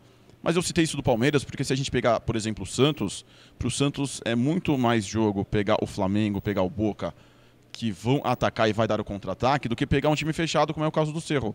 Né? Então, ah, não- não- a gente também tem que pensar um pouco nisso, né? Não é só pegar o, time, pegar o time mais fraco. Às vezes, se pegar um time forte é bom, se devido à sua seu, fragilidade. Na, na sua tática. Sim, isso, isso sem dúvida. É que o Cerro Portenho, que a gente fez aquele jogo, eh, foi com você que eu fiz, que nós sofremos muito no, naquele jogo que o Cerro fez um gol no final e foi muito difícil aquele jogo. Então a gente viu a falta de qualidade até no, no time do Cerro, que é um time que tem vontade, mas que só tem força, parece. Então, não sei, pro, pro, pro time do Palmeiras, acho que o Palmeiras tá com, tá com um time. te- Tem o, o ataque rápido, mas também quando tá com o Borja não, não fica tão rápido assim. Então dá, dá, dá pra, pra ter mudanças, tem um elenco que pode ajudar.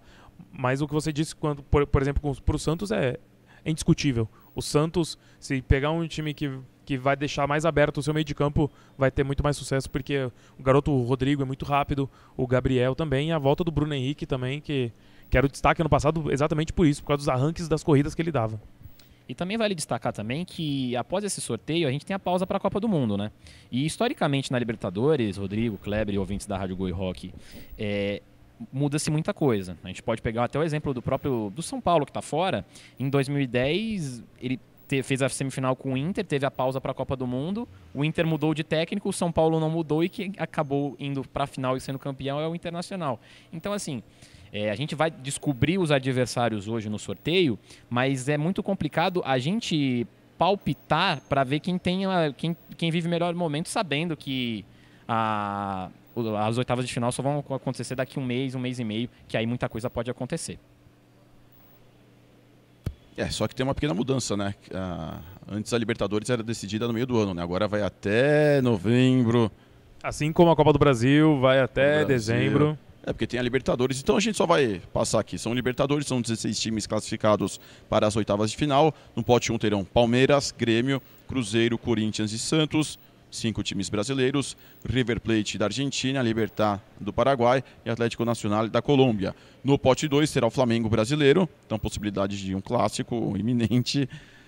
Mais o Racing, Independente, Tucumã, Boca Juniors e Estudiantes da Argentina, Ferro Portenho do Paraguai e Colo-Colo do Chile, que eu acho que é o time que todo mundo quer pegar, porque o Colo-Colo sempre abre as pernas para todo mundo. Né? Acho que igual o Flamengo não passava de fase já há um bom tempo, né? Eu nem lembro mais qual foi a última vez que o Colo-Colo avançou para as, a segunda fase da Comembol Libertadores. Então, além da Libertadores, também teremos o sorteio da Sul-Americana.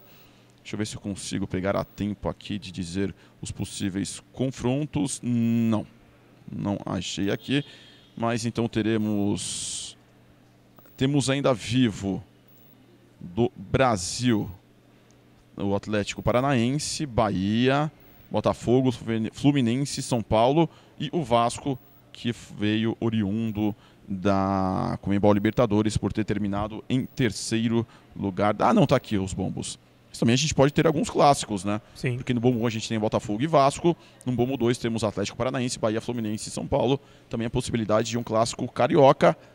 Acho que seria, seria legal ter um clássico na Sul-Americana, até porque é um torneio que todo mundo despreza. Seria bom, sei lá, um Fluminense Vasco de toda a rivalidade que tem entre os times. É, eu acho que acho que a Sul-Americana eu prefiro que tenha na Sul-Americana do que na Libertadores, porque eu quero, eu quero ver mais clássicos Brasil e Argentina na Libertadores. Eu prefiro muito mais que vai ter a possibilidade de ter pelo menos dois, né? Ou brasileiro contra brasileiro, porque o Flamengo tá no pote 2, ou cinco, quatro, cinco argentinos no, no pote 2 podem pegar os brasileiros passarem em primeiro lugar no pote 1. Um. É, na Sul-Americana, é, é, o que você falou, os times eles já vão desacreditados, parece, para para a competição. É uma Série B mesmo da Libertadores, que algumas pessoas definem mas é um título internacional, querendo ou não. É, para um time que está há um tempo sem ganhar um título, é, um, é um, uma boa vitória ganhar um campeonato desse, né? E a chance de salvar o ano, né, Kleber? O planejamento, Exato. porque no caso do Vasco, do Fluminense e do Botafogo, eles estão fora da Copa do Brasil.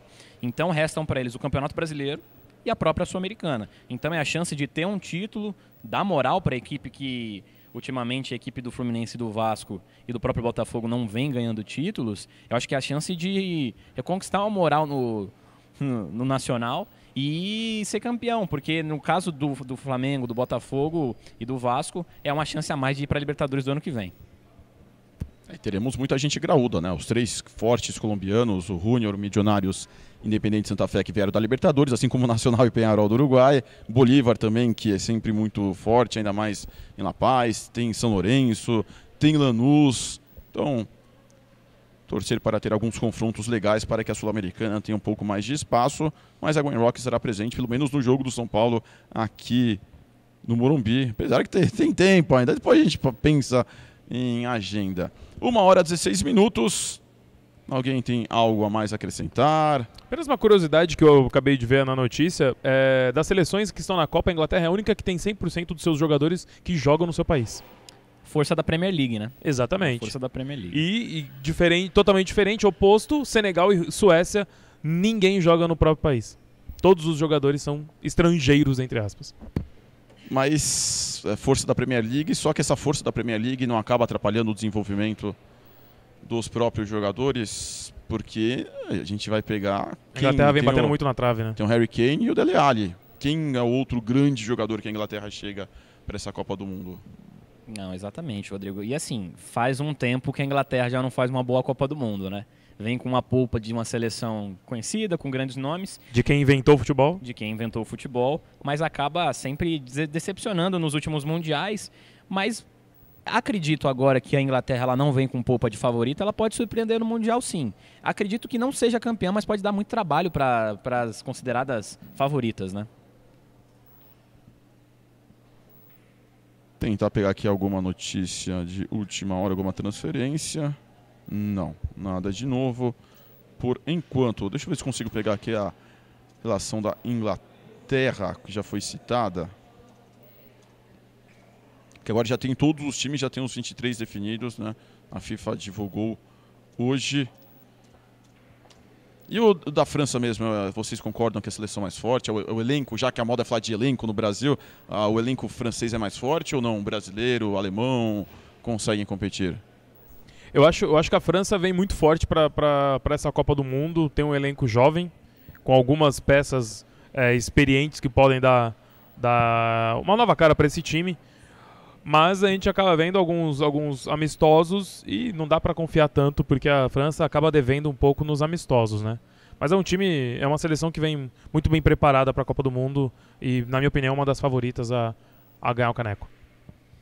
Talento é inegável que eles têm, principalmente no ataque com bons nomes, Mbappé, Dembélé, Giroud, temos o Griezmann, o próprio Pogba. É, um, é, uma, é uma seleção muito forte.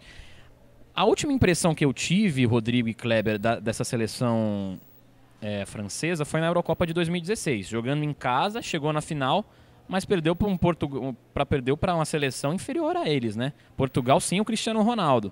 Então assim, acho que o grande, a, o teste de fogo para a seleção francesa mostrar seu realmente seu valor na Copa é, é evidente, né? A França tem que mostrar o serviço porque chegou na Eurocopa, acabou não sendo campeã, chegou na final, mas perder para Portugal com a seleção dessa badalada acabou que foi muito decepcionante, né, para os franceses, né? Acho que até dá tempo de a gente passar aqui a, pelo menos a lista do grupo do Brasil, mas só para voltar na Inglaterra, fiz um levantamento rápido aqui, são 15 jogadores do chamado G6, né, dos seis grandes times com mais investimento hoje. Só que a gente pega Alexander Arnold do Liverpool, Eric Dier do Tottenham, reserva, né? Daniel Welbeck do Arsenal. Então, só reserva. Essa geração inglesa pode dar frutos daqui a alguns anos, né, já que a base vem forte. Mas não tem espaço nos seus times. É, é, acho que essa é a grande preocupação da Inglaterra. Porque eu já fiz isso há alguns anos já num antigo blog, por, quando teve aquele boom da, das seleções da Euro, Irlanda do Norte, Irlanda, País de Gales, né? Não, o futebol britânico está de novo crescendo, não. Eram tudo jogadores de segunda divisão do campeonato inglês. E a Inglaterra pode caminhar para esse mesmo sentido. Eu acredito que uma seleção jovem, Rodrigo, e é muito parecido com é, essa nova reformulação da equipe da Inglaterra com a Alemanha de 2010. É, na época, nomes novos, é, com, eu acho que é um, é um, projeto de longo prazo da equipe da, da Inglaterra. E, e como você disse, na base, os frutos são muito bons. Inclusive foi campeão da Copa do Mundo ano passado sobre a equipe do Brasil. Eu acho que é uma equipe muito nova, vem com vem sem experiência para esse mundial, mas vem também para aprender bastante para as próximas Copas do Mundo. Eu acho que eles estão pensando exatamente nisso, que nem foi com a, o que a França fez, né? Eles querem a longo prazo, a França não, desculpa, a Alemanha, pensando no, no que vai ser o amanhã, a próxima Copa do Mundo, no Catar, mas dos nomes que você falou são reservas, né? Uh, talvez eles tenham uma seleção quase completa, titular, assim, que podemos depositar, mas se tiver alguma, alguma substituição acaba deixando a desejar, porque os jogadores que estão no banco de reservas não são tão não tem tanta qualidade quanto os que estão no time titular. Né? Copa do Mundo que começa no dia 14 de junho com o jogo. Um jogo entre Rússia e Arábia Saudita. Falamos um grande jogão aqui. Fortes é. emoções nesse jogo. Dez que, dias. Acho que é, a única coisa que eu brinquei desse jogo é que a gente sabe que não vai ter ataque terrorista, né? Porque o pessoal não ia atacar a seleção da Arábia Saudita lá na Rússia, né? Então, pelo menos disso a gente já está livre nesse, nesse Mundial com o brasileiro no, no, time titular que nós falamos aqui, que é o Mário, Fer Mário que Fernandes. É Mário né? Fernandes. O Brasil estreia contra a Sérvia no dia 17. Então, seleção da Sérvia para vocês. Goleiros Vladimir Stojkovic do Partizan, Marco Dmitrovic do Eibar e Pedrag Rajkovic do Maccabi Tel Aviv. Zagueiros Alexander Kolarov da Roma, Antônio Rukavina do Villarreal Milan Rodic, do Estrela Vermelha, Branislav Ivanovic, talvez um dos mais conhecidos, que agora joga no Zenit da Rússia, Urus Spait do Anderlecht, Milos Velikovic do Werder Bremen, Dusko Toshic do Guangzhou da, da China e o Nikola Milenkovic da Fiorentina, meio-campistas, Nemanja Matic do Manchester United, Luka Milivojevic do Crystal Palace, Marco Grujic do Liverpool, outro jogador que é reserva, o do Santadic do Southampton, o Andrea Zivkovic do Benfica, Felipe Kostic do Hamburgo, Nemanja Radonic do Estrela Vermelha, Sergei Milinkovic-Savic, talvez a grande joia desse futebol sérvio da Lazio, o Adem Ljaic do Torino, atacantes Alexander Mitrovic do Newcastle e Alexander Priovic do PAOK e Luka Jovic do Eintracht Frankfurt. Bota medo? Na minha opinião, não. É, tem, um, tem nomes conhecidos, como Ivanovic, como você disse, e um jogador que eu gosto particularmente, que é o Matite, que é um jogador que jogou muito bem pelo Chelsea, fez uma boa temporada pelo Manchester, mas sinceramente não é uma seleção que bota medo, mas não quer dizer que a gente não tenha que respeitar para disputar o jogo, né? É uma seleção que joga em conjunto mesmo, né? Que, que um jogador só não faz a diferença, por mais que tenha Ivanovic no time. Mas é uma seleção que vai jogar, que acaba se baseando muito no seu esquema tático para que todos vençam, porque não tem um destaque no time que possa, possa carregar a seleção nas costas, que nem é o caso de Portugal com Cristiano Ronaldo e, e o Messi na, na Argentina, que por mais que não faça muito na seleção, né, sempre tá por lá e pode jogar a bola nele que ele sabe resolver. Ah, na sequência, o Brasil enfrenta a Suíça no dia 22 de junho, uma sexta-feira, às 9 da manhã, horário de Brasília. Suíça que tem o Roman Burke do Dortmund, o Yvon Mvogo do Leipzig, Ian Sommer do Borussia Mönchengladbach.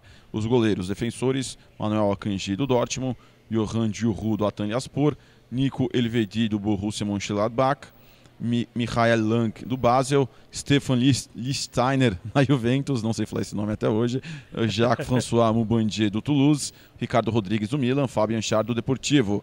Meio-campistas, Valon Berami da Udinese, Blerin Zenmali do Bolonha, Gelson Fernandes do Eintracht Frankfurt, Remo Freuler da Atalanta, o Tierdan Shaqiri do Stoke, Granit Xhaka do Arsenal, Denis Zakaria do Borussia Mönchengladbach e o Steven Zuber do Hoffenheim, atacantes Josip Dirmit do Borussia Mönchengladbach, o Brel Embolou do Schalke, Mário Gav Gavranovic do Dinamo Zagreb e o Haris Seferovic do Benfica. Talvez são nomes um pouco mais desconhecidos, mas a gente não são nomes ruins. Mas é uma seleção que ainda continua pecando no seu sistema ofensivo. É, exatamente. Ele tem alguns nomes conhecidos, né, como o Shaqiri, que passou pela equipe do Bayern, o Liechtensteiner, que é jogador da, da Juventus, ele tem o próprio Chaka, que apareceu muito bem no Mönchengladbach e se transferiu para a equipe do Arsenal. É uma equipe que, na minha opinião, Rodrigo e Kleber, ouvintes da Rádio Goi Rock, eu acho que o Brasil vai ter mais dificuldade contra a Suíça, contra essa seleção. Na Copa passada, vendeu a vaga das quartas de final para a Argentina num jogo difícil em Itaquera, gol chorado do Di Maria. Foi um, fez uma boa campanha em 2014. Na minha opinião, essa é a seleção que o Brasil vai ter mais dificuldade nessa fase de grupos. É, eu concordo com você também, Edu. Talvez seja essa seleção mais que dê mais trabalho para o Brasil. Exatamente pelo que você disse. Tem jogadores que já são um pouco mais rodados na sua seleção, então acaba é, fazendo com que o time rode melhor do que os outros que, que estão completando é, o grupo, que é o caso da Costa Rica e da Sérvia. E o Brasil fecha a primeira fase na, em uma quarta-feira, deixa eu fazer as contas aqui, dia 27 de junho contra a Costa Rica. Provavelmente já classificado, né, o que todos esperamos.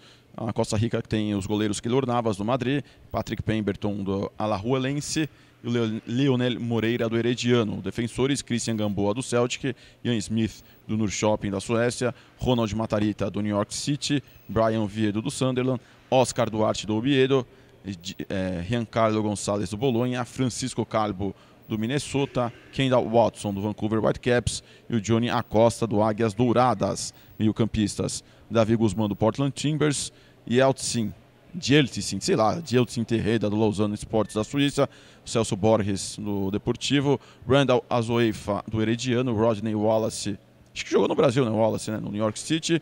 O Brian Ruiz do Sporting. Daniel Colindres do Saprissa. Christian Bolanhos também do Saprissa. Atacantes. Johan Venegas do Saprissa. Joel Campbell do Betis. E o Marcos Urenha do Los Angeles FC. Que é a grande curiosidade, né? A base da maioria das seleções estão na Europa. Da Costa Rica não, está no futebol latino, lá na MLS.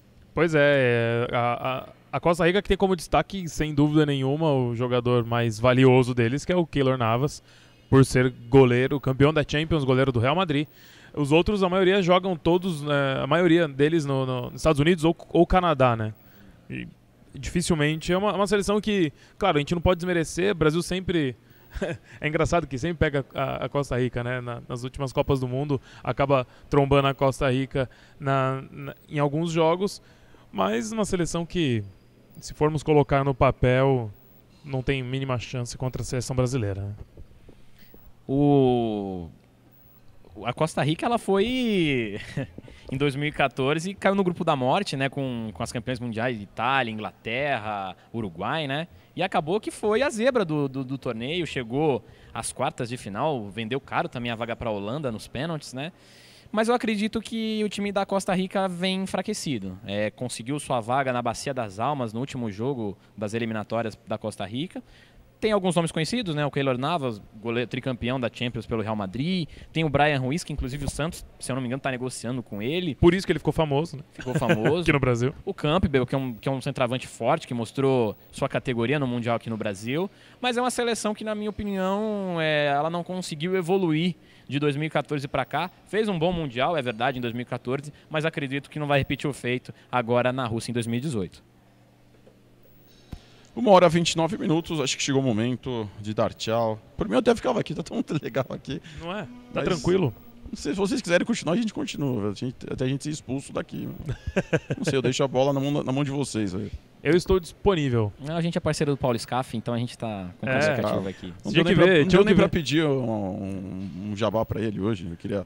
Falei, "Ca- Scaff, você não quer patrocinar aqui a Gwen Rock, mas infelizmente não deu. Ele pediu licença pro, pro Eduardo ali na, na- dentro do teatro. Eduardo, É. ô Paulo, fica à vontade. Já virou, Super já, já virou meu parceiro parceiro, dele. já está na intimidade. Grande É, não vai brigar, Paulo né? Scaff. Vai que o Eduardo seria um leitor dele, né? Não é? É melhor não causar conflito, né? Exato. Mas é que o papo não é de política, porque senão tem, eu sei que tem gente que vai ficar enchendo meu saco porque eu falo que eu não falo de política. O que, que vocês preferem Copa do Mundo, futebol brasileiro?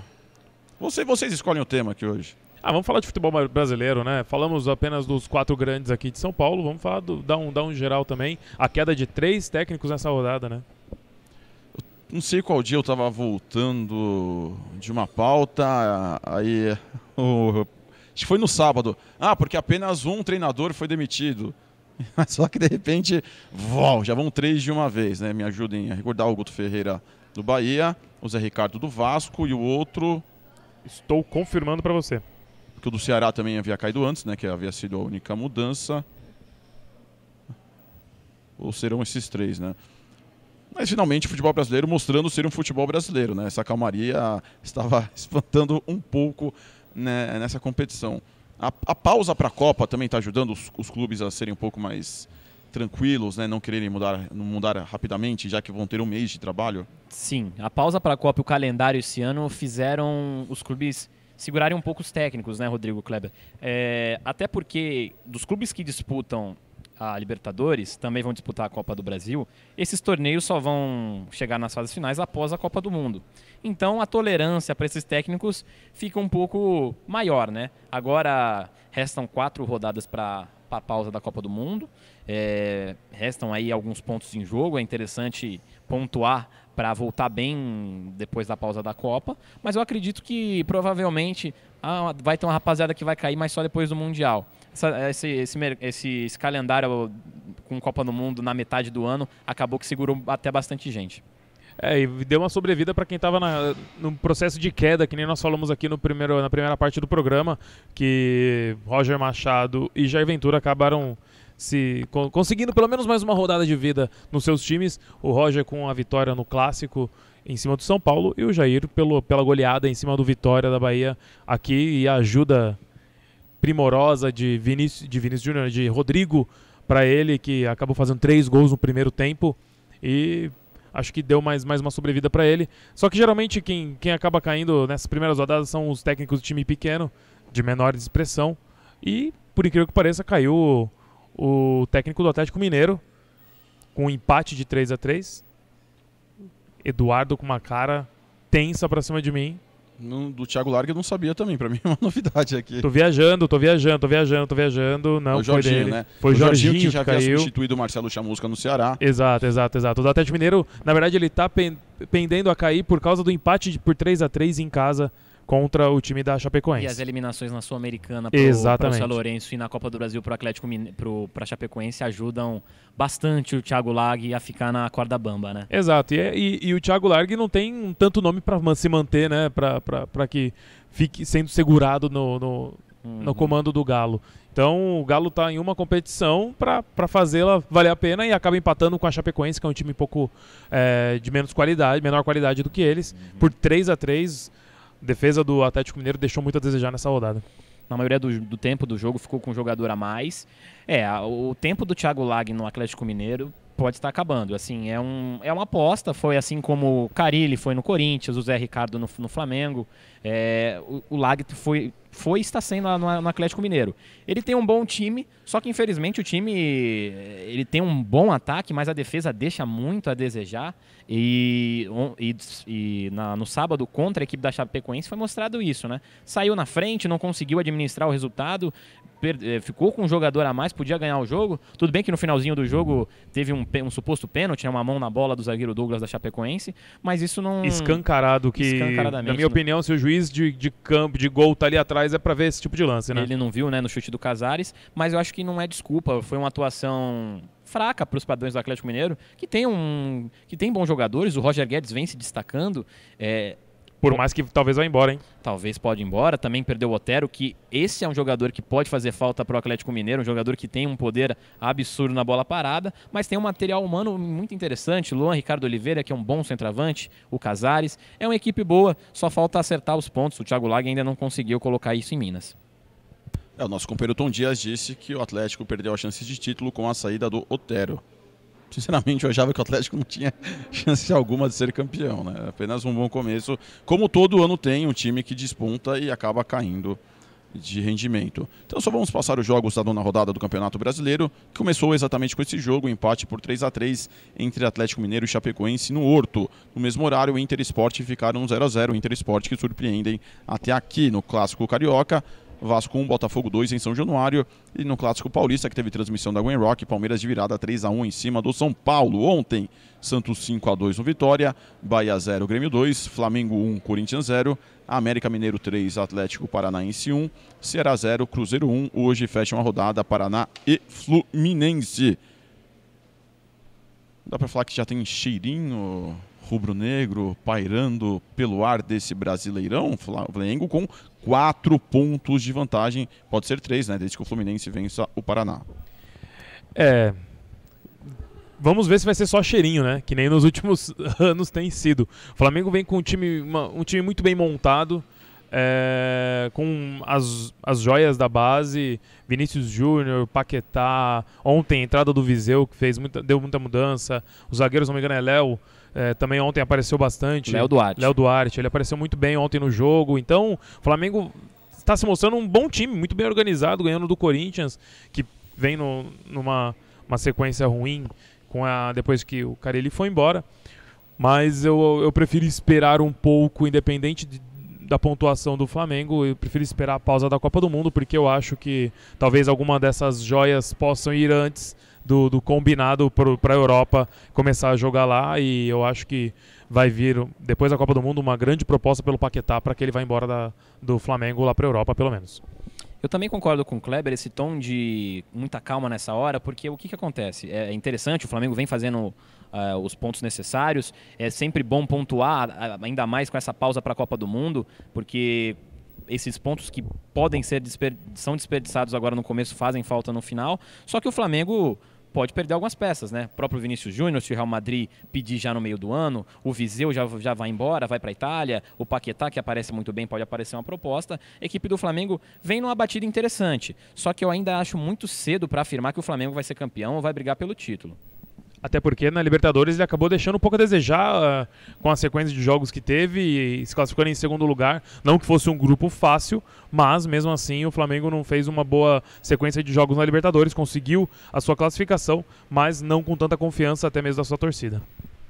Ah, Citamos o Largue aqui, mas o Flamengo também tem um técnico interino que ainda permanece interino, o Barbieri.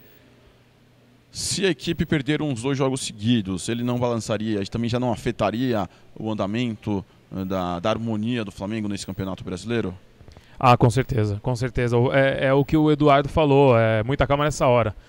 O resultado, dois resultados negativos pode trazer outras sequências para o Flamengo, até porque tem alguns técnicos que já estão saindo, estão aí na, na área para serem contratados e o Flamengo deve estar de olho nisso para ter garantias até para pós Copa do Mundo poder colocar outros jogadores, no, é, outro técnico no seu elenco. Olha, Rodrigo, assim como o Corinthians é, com o Loss que não foi muito bem compreendido se vai ser ou não treinador efetivo, assim no, como o Osmar Loz, o que o Andrés falou. No Flamengo também é a mesma coisa. O Barbieri, ele vem fazendo um trabalho interessante no, na, no brasileiro. Na Copa do Brasil, na, na, na Copa Libertadores, o Flamengo não jogou muito bem os jogos na fase de grupos, mas conseguiu a classificação. Isso já é um fato comemorável, já que o Flamengo não, nas últimas edições não estava conseguindo passar da primeira fase. Acredito que precisa de precisa de tempo, né, para esses treinadores novos, ainda mais o Barbieri, ele que é um joga, ele que é um treinador novo das categorias de base e o, e o Flamengo tem jogadores muito experientes, né? Assim como o Diego, como o próprio Diego Alves, o goleiro, o Henrique Ceifador. O Flamengo tem que ir com muita calma. Claro que, é, claro que a fase é boa, vem ganhando, é, não perde no Maracanã, é, é líder, mas eu acho que tem que ter muito pés, nos pés no chão, né? Para a equipe da Gávea até essa pausa para a Copa do Mundo.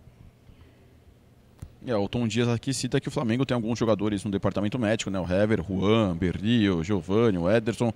Apesar que o Ederson estará eternamente no departamento médico, independente do clube que estiver jogando. E quem subiu, finalmente, aliás, dois times que finalmente deram as caras, Cruzeiro e Grêmio, que venceram, já estão na vice-liderança. São dois times que chegam muito fortes. É, o Cruzeiro chega bem forte para essa competição. Ganhou do, do, Palmeiras lá na rodada anterior de 1 a 0 em casa. É um time muito bem armado. O Cruzeiro tá, tá se postando muito bem. E o, Cruz, o, o Grêmio não tem o que falar, né? O Grêmio desde o ano passado vem numa sequência muito boa de jogos. Ficaram até debochando um pouco dele no começo do ano, porque estava em último, penúltimo lugar no campeonato, no campeonato Gaúcho e acabou com a vitória a conquista do campeonato, não dá para desmerecer. Renato Gaúcho está fazendo um belo trabalho lá, com que disseram alguns refugos, né? Que o Grêmio ganhou a Libertadores com alguns refugos, mas mesmo assim ganhou a Libertadores, né? Olha, se no Flamengo o tom é de manter a cautela, eu acho que Grêmio e Cruzeiro já são mais realidade. São times que, man que manteram suas bases do ano passado e vêm jogando muito bem. Grêmio, da, Grêmio nadou de braçada a fase de grupos da Libertadores. O Cruzeiro não. O Cruzeiro demorou um pouquinho, precisou do retorno para mostrar no que veio. Mas é uma equipe muito interessante, a equipe do Mano Menezes. Na minha opinião, Grêmio e Cruzeiro. É, Claro que estão atrás do Flamengo, mas são equipes que, na minha opinião, vão mais longe que, que a equipe da Gávea no Campeonato Brasileiro. Então vamos aproveitar para passarmos a décima rodada do Brasileirão, que começa amanhã com São Paulo e Inter, às nove e meia da noite. Partida que terá transmissão da Going Rock. E Rodrigo Tonhato estarei na companhia do Ricardo Gomes lá no Morum Frio. Na quarta-feira teremos Vitória e Chapecoense no Barradão em Salvador, Botafogo e Ceará no Newton Santos, Corinthians e Santos na Arena em Itaquera, Esporte Atlético Paranaense na Ilha do Retiro, Grêmio e Palmeiras, partida que também terá transmissão da Gwen Rock com Bruno Zanholo e o Juliano Gubolin, e Cruzeiro e Vasco, os dois últimos às 9h45. Na quinta, Paraná e Bahia em Curitiba, duelo de desesperados, Fla-Flu no Mané Garrincha, que beleza, hein? E América e Atlético no Horto. Surpresas da competição. América Mineiro é um time que está surpreendendo bastante, hein? É um time que está dando bastante trabalho, né? É, para todos os, todos os times. Tanto que quando jogou com o Palmeiras aqui na Copa do Brasil, empatou em 1 a 1 Falaram que o Palmeiras tinha sido muito fraco, mas talvez esqueceram de falar dos méritos do América também. O América tem seu, seu, seu sua qualidade e o destaque para o, o, o, Serginho, que vem fazendo um belo campeonato. Talvez o Santos esteja sentindo um pouco de falta dele, porque no Santos ele não conseguiu fazer isso. Agora está fazendo muito bem feito no América. O América está tá sacando muito bem, mas eu não, não acho que continue nessa levada até o final do campeonato. Creio que vai cair de, de, de produção, mas que não, não se manter próximo a isso, acaba se mantendo na, na, na, na primeira divisão do Campeonato Brasileiro. É, a prioridade para a equipe de Minas é se manter na primeira divisão. Aqui no Allianz Parque, no duelo pela Copa do Brasil contra o Palmeiras, fez jogo duro, fez um bom jogo, chegou até, até na frente no placar. É uma equipe que vem jogando bem. Eu acho que o América vem fazendo um bom campeonato brasileiro e o interessante para o América é pontuar realmente nas primeiras rodadas para no fim do campeonato esses pontos valerem realmente a pena, porque a equipe vem com a pretensão de se manter na primeira divisão, até apontada antes do antes de começar o campeonato como uma equipe que brigaria para não cair. Individualmente tem nomes interessantes, o próprio He-Man, que vem fazendo gols pela equipe de Minas, o Serginho, que é interessante que o Santos precisa de um meia e acaba emprestando o seu meia para a equipe do América de Minas e ele vem fazendo um bom campeonato, inclusive jogou muito bem domingo, fez dois gols. Tem o próprio Luan, que não é muito bem lembrado pela torcida do Palmeiras, mas vem jogando bem pela equipe de Minas. É uma equipe interessante essa equipe do Ederson Moreira. Para o restante do Campeonato Brasileiro, acredito que ela pode dar algum trabalho, surpreendentemente, né? Quem também surpreende positivamente é o time do Fluminense. O Abel conseguiu montar um time jovem, um time solto, que hoje pode assumir a vice-liderança, basta vencer o Paraná, um dos sacos de pancada da, dessa edição do Campeonato Brasileiro. Tem sempre algum time que acaba despontando, né, aos poucos. Será que esse é o caso do Fluminense nessa temporada? Aquele time que ninguém dá nada, aí você vai ver, tá lá brigando por Libertadores, terceira, quarta colocação no meio do campeonato? É, o Fluminense está comendo pelas beiradas, né? Tá chegando, fazendo o trabalho dele bem feito. O Abel tá conseguindo dar uma cara pro time. É, o ataque do, do jovem Pedro no Fluminense está fazendo muita diferença. Então tá levando o time para bons resultados e colocando eles lá em cima, do meio para cima da tabela do Campeonato Brasileiro. O Abel sabe comandar o time, vamos ver se ele consegue manter isso até o final do campeonato. O Fluminense está sendo uma surpresa e é aquele time que ninguém tá dando nada e tá aparecendo e despontando, né? Olha, é, quando começou o Campeonato Brasileiro, talvez o Fluminense era uma equipe grande que não era muito cotada para ser campeã. Eu também não, eu, eu também vou nessa análise. Eu, eu, acho que o Fluminense ele não briga pelo título, mas ele briga sim pela, pela, pela Libertadores. O Abel vem, vem montando um time interessante. É, diferente do ano passado, que o Fluminense sofreu com crise política, perda de patrocínio. Hoje o Fluminense tem uma reconstrução interessante, jovens na equipe titular jogando muito bem e olho nesse atacante Pedro, esse atacante que tem muito futuro. Ele é um vice, ele é vice-artilheiro do Campeonato Brasileiro, tem cinco gols. É um atacante para ficar de olho. E se ele não sair agora também na parada da, da, do, da Copa do Mundo, é, por mais que seja chato ficar lembrando isso, essa parada de Copa do Mundo e meio de ano sempre tem queda de quebra de times para ir para a Europa ou, ou para outros países. Eduardo, você citou o Fluminense brigando por Libertadores. Mas eh, a gente pode fazer um exercício. Quem hoje briga por Libertadores no brasileiro? Porque vai pegar os cinco, talvez os cinco principais é, times hoje: Corinthians, Palmeiras, Grêmio, Cruzeiro e Flamengo. Claro que são só seis, mas não, são, não serão só seis, porque tem o título da Copa do Brasil, tudo, serão sete, talvez oito. O Inter tá bem, o Esporte tá bem, São Paulo a gente fala mais de São Paulo porque a gente acompanha diariamente, também está tá bem, é até estranho falar isso. O Fluminense ele está nessa briga, tem o Atlético também atrás. A gente dá para colocar o Fluminense como até um dos favoritos nesse meião. Isso, em questão de Libertadores, sim, Rodrigo. Depois que foi aberta mais duas vagas e seis vagas para equipe para Libertadores, a concorrência ficou um pouco mais mais ampla, né? Eu, eu classifico o Fluminense como um time que briga assim por Libertadores, como o Atlético Mineiro briga, como o próprio Internacional lá do Odair Helman, que vem fazendo um trabalho interessante, briga também. O São Paulo, na minha opinião, também briga por Libertadores e o Atlético Mineiro. Eu indico essas quatro, esses quatro clubes, que são clubes grandes, óbvio, mas na minha opinião não, não chegam aparentemente com potencial de, de, de, pinta de campeão, mas sim com, uma, com, com equipes que vão brigar lá em cima no pilotão de cima por uma vaga na Libertadores. E tem gente comemorando aqui Palmeiras na final do Mundial, hein? Que coisa, hein, Kleber? Pois é, Palmeiras está chegando no Mundial, não é verdade? Seja de uma forma ou de outra, sub-17, mas está chegando no Mundial, né? Venceu no glorioso Altinurdu da Turquia por 2 a 0 Está na final do Mundial sub-17. E a final vai ser contra Real Madrid ou Atlético de Madrid. Ô, louco, hein? No Bernabéu, eu acho que, eu acho que na verdade não, porque. Não, eu tô, eu tô, eu tô brincando com você. É um não, não, torneio... não, digo, o local onde é o Mundial, não é lá, entendeu? Não, é uma cidade próxima ali de Madrid, na, na região de Madrid. Eu esqueci agora o nome da cidade. Não sei se é Alcalá de Henares, mas é uma cidade ali do Mas lado. ano passado. Foi só uma provocação mesmo. ano passado o Palmeiras tinha chegado é, próximo também, mas na final acabou perdendo, né? Não sei se era o Sub-17, acho que não. É, eu não lembro. Não... Até porque para mim, torneio de base, eu não. Não que eu não acompanhe, mas esses torneios, ah, campeonato mundial. É, acaba sendo. O pessoal força um pouco a barra, né? Acaba sendo triste pra gente falar isso, mas deveríamos até dar um pouco mais de, de notoriedade. Mas os times mesmo não aproveitam a base que tem. Então, com isso, a gente perde um pouco a vontade de, de assistir, porque Às vezes é, é- é melhor para os meninos que estão indo lá para fazer esse tipo de campeonato, para participar desse campeonato, para ser visto por outros times grandes por lá, para que sejam contratados, que foi o caso de muitos jogadores que já estão indo para lá e acabam nem jogando no Brasil e começando mais sua carreira lá é, e estourando muito mais por lá. Uma hora e 48 minutos. Eu- daqui a pouco eu pesquiso para saber onde vai ser exatamente ah, onde está sendo disputado esse torneio. É um estádio pequeno na região de Madrid. O Renato aqui disse que gosta bastante dos dois laterais do Fluminense, o Gilberto e o molequinho lá, que é o, que é o Ayrton Lucas, que ele estava. Ayrton, Ayrton Lucas. O Pedro é o atacante, o Ayrton Lucas. Isso. A gente disse São Paulo. Amanhã tem São Paulo e Inter, vocês já falaram de São Paulo, mas o Inter acordou pra vida, né? O Inter é, resolveu lembrar que está na Série A, que é time grande, e agora já briga também ali nas posições de cima. Exatamente. Como eu apontei, é, é, um- é uma equipe que vai brigar por Libertadores, porque só tem isso para disputar durante o ano, é só o Campeonato Brasileiro. É, foi eliminado pela equipe do Vitória nas fases preliminares aí da Copa do Brasil. No Campeonato Gaúcho parou nas quartas para o arquirrival Grêmio e vai ter o restante da temporada para pensar no Campeonato Brasileiro.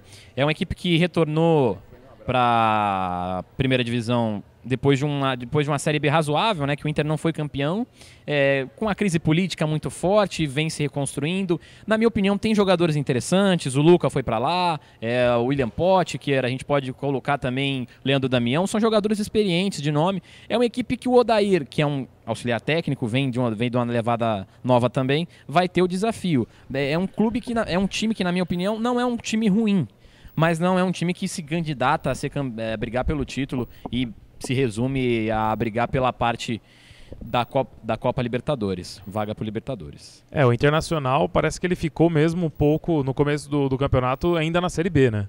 Que não, não trouxe a a- o campeonato, o caneco para casa, acabou ficando com, com o América Mineiro e voltou um pouco perdido para esse ano de 2018 na Série A. Mas aos poucos está começando a se encontrar. Acho que a vitória em cima do Corinthians fez com que eles, eles acordassem para a competição, ganhando de um time forte como o Corinthians, independente dos problemas internos que o Corinthians tenha ou não, eles acabaram com uma vitória dentro de casa, com um erro do Mantuan, mas isso não, não vem ao caso, que já saiu chorando, já passou, já foi outra rodada, não tem problema.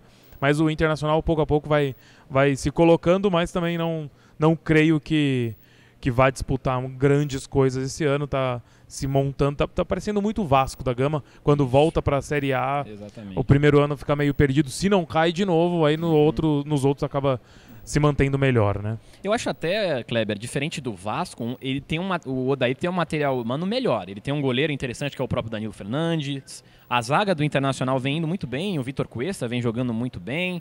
Tem nomes conhecidos aqui do futebol paulista. O Edenilson, que jogou muito bem no Corinthians, tá, é, tá jogando lá também. É uma equipe que tem que ter respeito, porque o Internacional é um clube grande. Ainda está em formação, não tem, um, não tem um padrão tático ideal ainda, o time do Odair, mas é um clube que pode aproveitar essa parada da Copa, como muitos outros, né? Para organizar o time, pôr, a, pôr a- a- a- o time em formação ideal para brigar para brigar pela vaga na Libertadores seria uma bela reconstrução já que o ano de 2016 e o ano de 2017 não foi muito interessante para a equipe do Internacional Eu brinco aqui, mas claro que é um torneio importante lá na Espanha, esse Mundial Sub-17. Só voltando rapidinho, o Palmeiras, o jogo é- ah, os jogos estão acontecendo em Fuenlabrada, ao sul de Madrid. Vocês sabem quem é o filho mais famoso de Fuenlabrada? Não. Pergunta de geografia agora, hein? Pois é, não sei. Não, Fernando Torres, ele é de Ah, ele é lá. de lá? Ele é de lá, Ah. tanto que o estádio leva o nome dele em homenagem, apesar de nunca ter jogado na equipe da sua cidade. Se não me engano, está até perto de eh, ir pela primeira vez para a segunda divisão do futebol espanhol.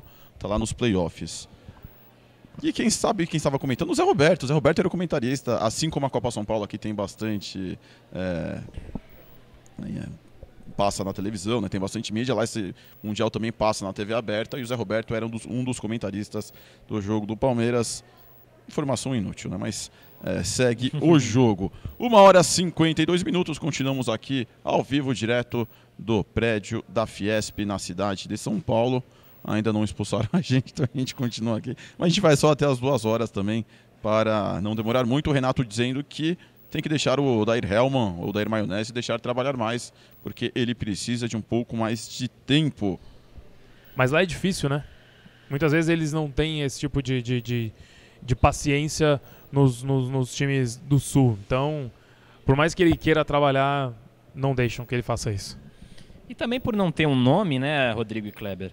É, é um treinador que basta apenas dois, três resultados ruins que vai estar vai tá na, na corda bamba. Como é, um, como é um treinador sem grife, ainda sem história no futebol, ele ainda vai ter esse problema para administrar nesse começo de carreira. Ele é um, ele é um treinador ele é um, ele é um treinador muito inteligente, le, levou o Inter é, ao retorno da série para série da série B, né, que passou pelo Guto Ferreira, o Guto Ferreira foi embora, ele pegou, ele assumiu o time na reta final, conseguiu, man, conseguiu manter o Inter no pelotão de cima da série B e, e classificar para e se, e se reerguer, né, pegar o, ter o acesso para a série A.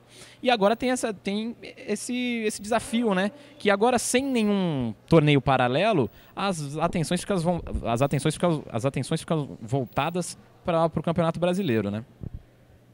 É, o Tom Dias aqui, ele que desconfio que torça para um time vermelho lá do Rio Grande do Sul, disse que o D'Alessandro e o Rodrigo Dourado não vão enfrentar o São Paulo amanhã, jogo no estádio do Morumbi.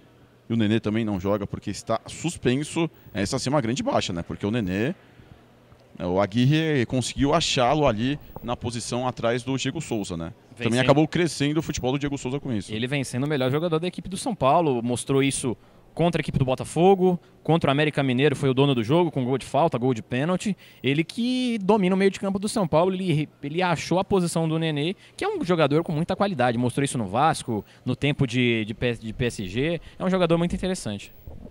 É, o, o, o Aguirre está começando a, a, dar uma cara para o São Paulo e acho que muitas vezes o, os próprios é, colorados sentem muita falta dele gostariam dele por lá, mas acho que se o São Paulo melhorou, ele não vai sair daqui tão cedo.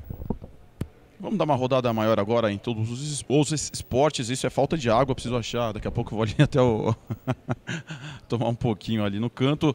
É, Roland Garros, tivemos quarto jogo, temos quatro jogos nessa quarta-feira pelas oitavas de final, não, 16 avos de final.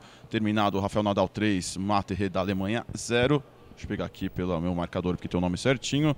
O Diego Schwartzman da Argentina venceu o Kevin Anderson da África do Sul por 3 a 2 e jogam agora John Isney e Juan Martín Del Potro. Vitória parcial do Del Potro, 2 sets a 0. Cadê o terceiro set? Não, 3 a 0 fechou então com o triplo 6-4 e Marin Cilic da Croácia contra o Fábio Foini da Itália, 2 sets a 1 para o croata, 4 a 4 no quarto set. Chave feminina, o Kleber já citou a vitória da Sharapova por WO em cima da Serena Williams. Os jogos terminados, a número 1, um, Simona Halep, venceu a Mertens, qual que é o sobrenome da Mertens? Elise Mertens, por 2 a 0, o mesmo placar da vitória da Cassatina em cima da Caroline Wozniak e da Angelique Kerber em cima da Caroline Garcia. Jogam agora a Garbine Muguruza da Espanha e a Tsurenko, ucraniana, Lesia Tsurenko o jogo está no primeiro set. Muguruza vence por 2 sets a 0. O último brasileiro vivo deu adeus. O Marcelo Demoliner caiu na chave de quartas de finais de duplas mistas ao lado da Maria Martinez Sanches. Perdeu para o Santiago Gonçalves do México e a Catarina Srebotnik da Eslováquia por 2 sets a 1. Um. Já passamos por basquete também, né? Já falamos NBB, NBA. Falta o quê? A Série B do Campeonato Brasileiro, rodada que teve neste meio de semana. Vai falar alguma coisa, Kleber? Puxou não, não, fica à vontade. Não, pensei que você puxou o microfone para falar algo. Um dia dizendo que a idade já chegou para a Serena Williams. Ela estava contundida também, né? Foi o primeiro torneio dela é, em realidade na sua volta, já que só disputou apenas jogos pela Fed Cup oitava rodada da Série B, que teve os seguintes jogos: São Bento 1, Figueirense 1, Londrina 3, Curitiba 2, Juventude 1, Guarani 0, Vila Nova 0, CSA 1, Paysandu 2, Boa Esporte 0, Havaí 0, Criciúma 1, Fortaleza 1, Sampaio Correia 0, Atlético Goianiense 1, Goiás 3, CRB 1, Brasil de Pelotas 1, Ponte Preta 1, Oeste 1, G4 da Série B tem Fortaleza líder disparado com 22 pontos, CSA tem 18, Paysandu 15, Havaí 14, fecham o G4 talvez desse daí só o pessoal só esperava o Havaí nesse, nessa briga, né? Todo mundo é surpresa, principalmente o CSA, né? E o Fortaleza com, com, com essa pontuação que ele está tendo, né? E a sequência que o Rogério Ceni está dando para o time, está colocando o time nos trilhos e encaminhando talvez a sua subida o quanto antes para a Série A. Curitiba, Figueirense tão, e Atlético Goianiense estão deixando a desejar, né? E Ponte Preta, os quatro que caíram, não estão entre os, entre os quatro, então tá, tá deixando a desejar bastante. Vamos ver quem vai no final é, com a parada da Copa. A gente sempre fala, tem a parada da Copa, mas quem vai conseguir garantir o seu lugar lá na Série A do ano que vem. É, a galera do Nordeste fazendo um ótimo campeonato brasileiro da Série B, Fortaleza, CSA, Paysandu, são clubes que estão se credenciando a retornarem à elite do futebol brasileiro. É, destaque para o Fortaleza do Rogério Ceni, que vem fazendo uma ótima campanha, líder disparado, tem o vice-artilheiro Gustavo, aí, jogador emprestado da equipe do Corinthians jogando muito bem.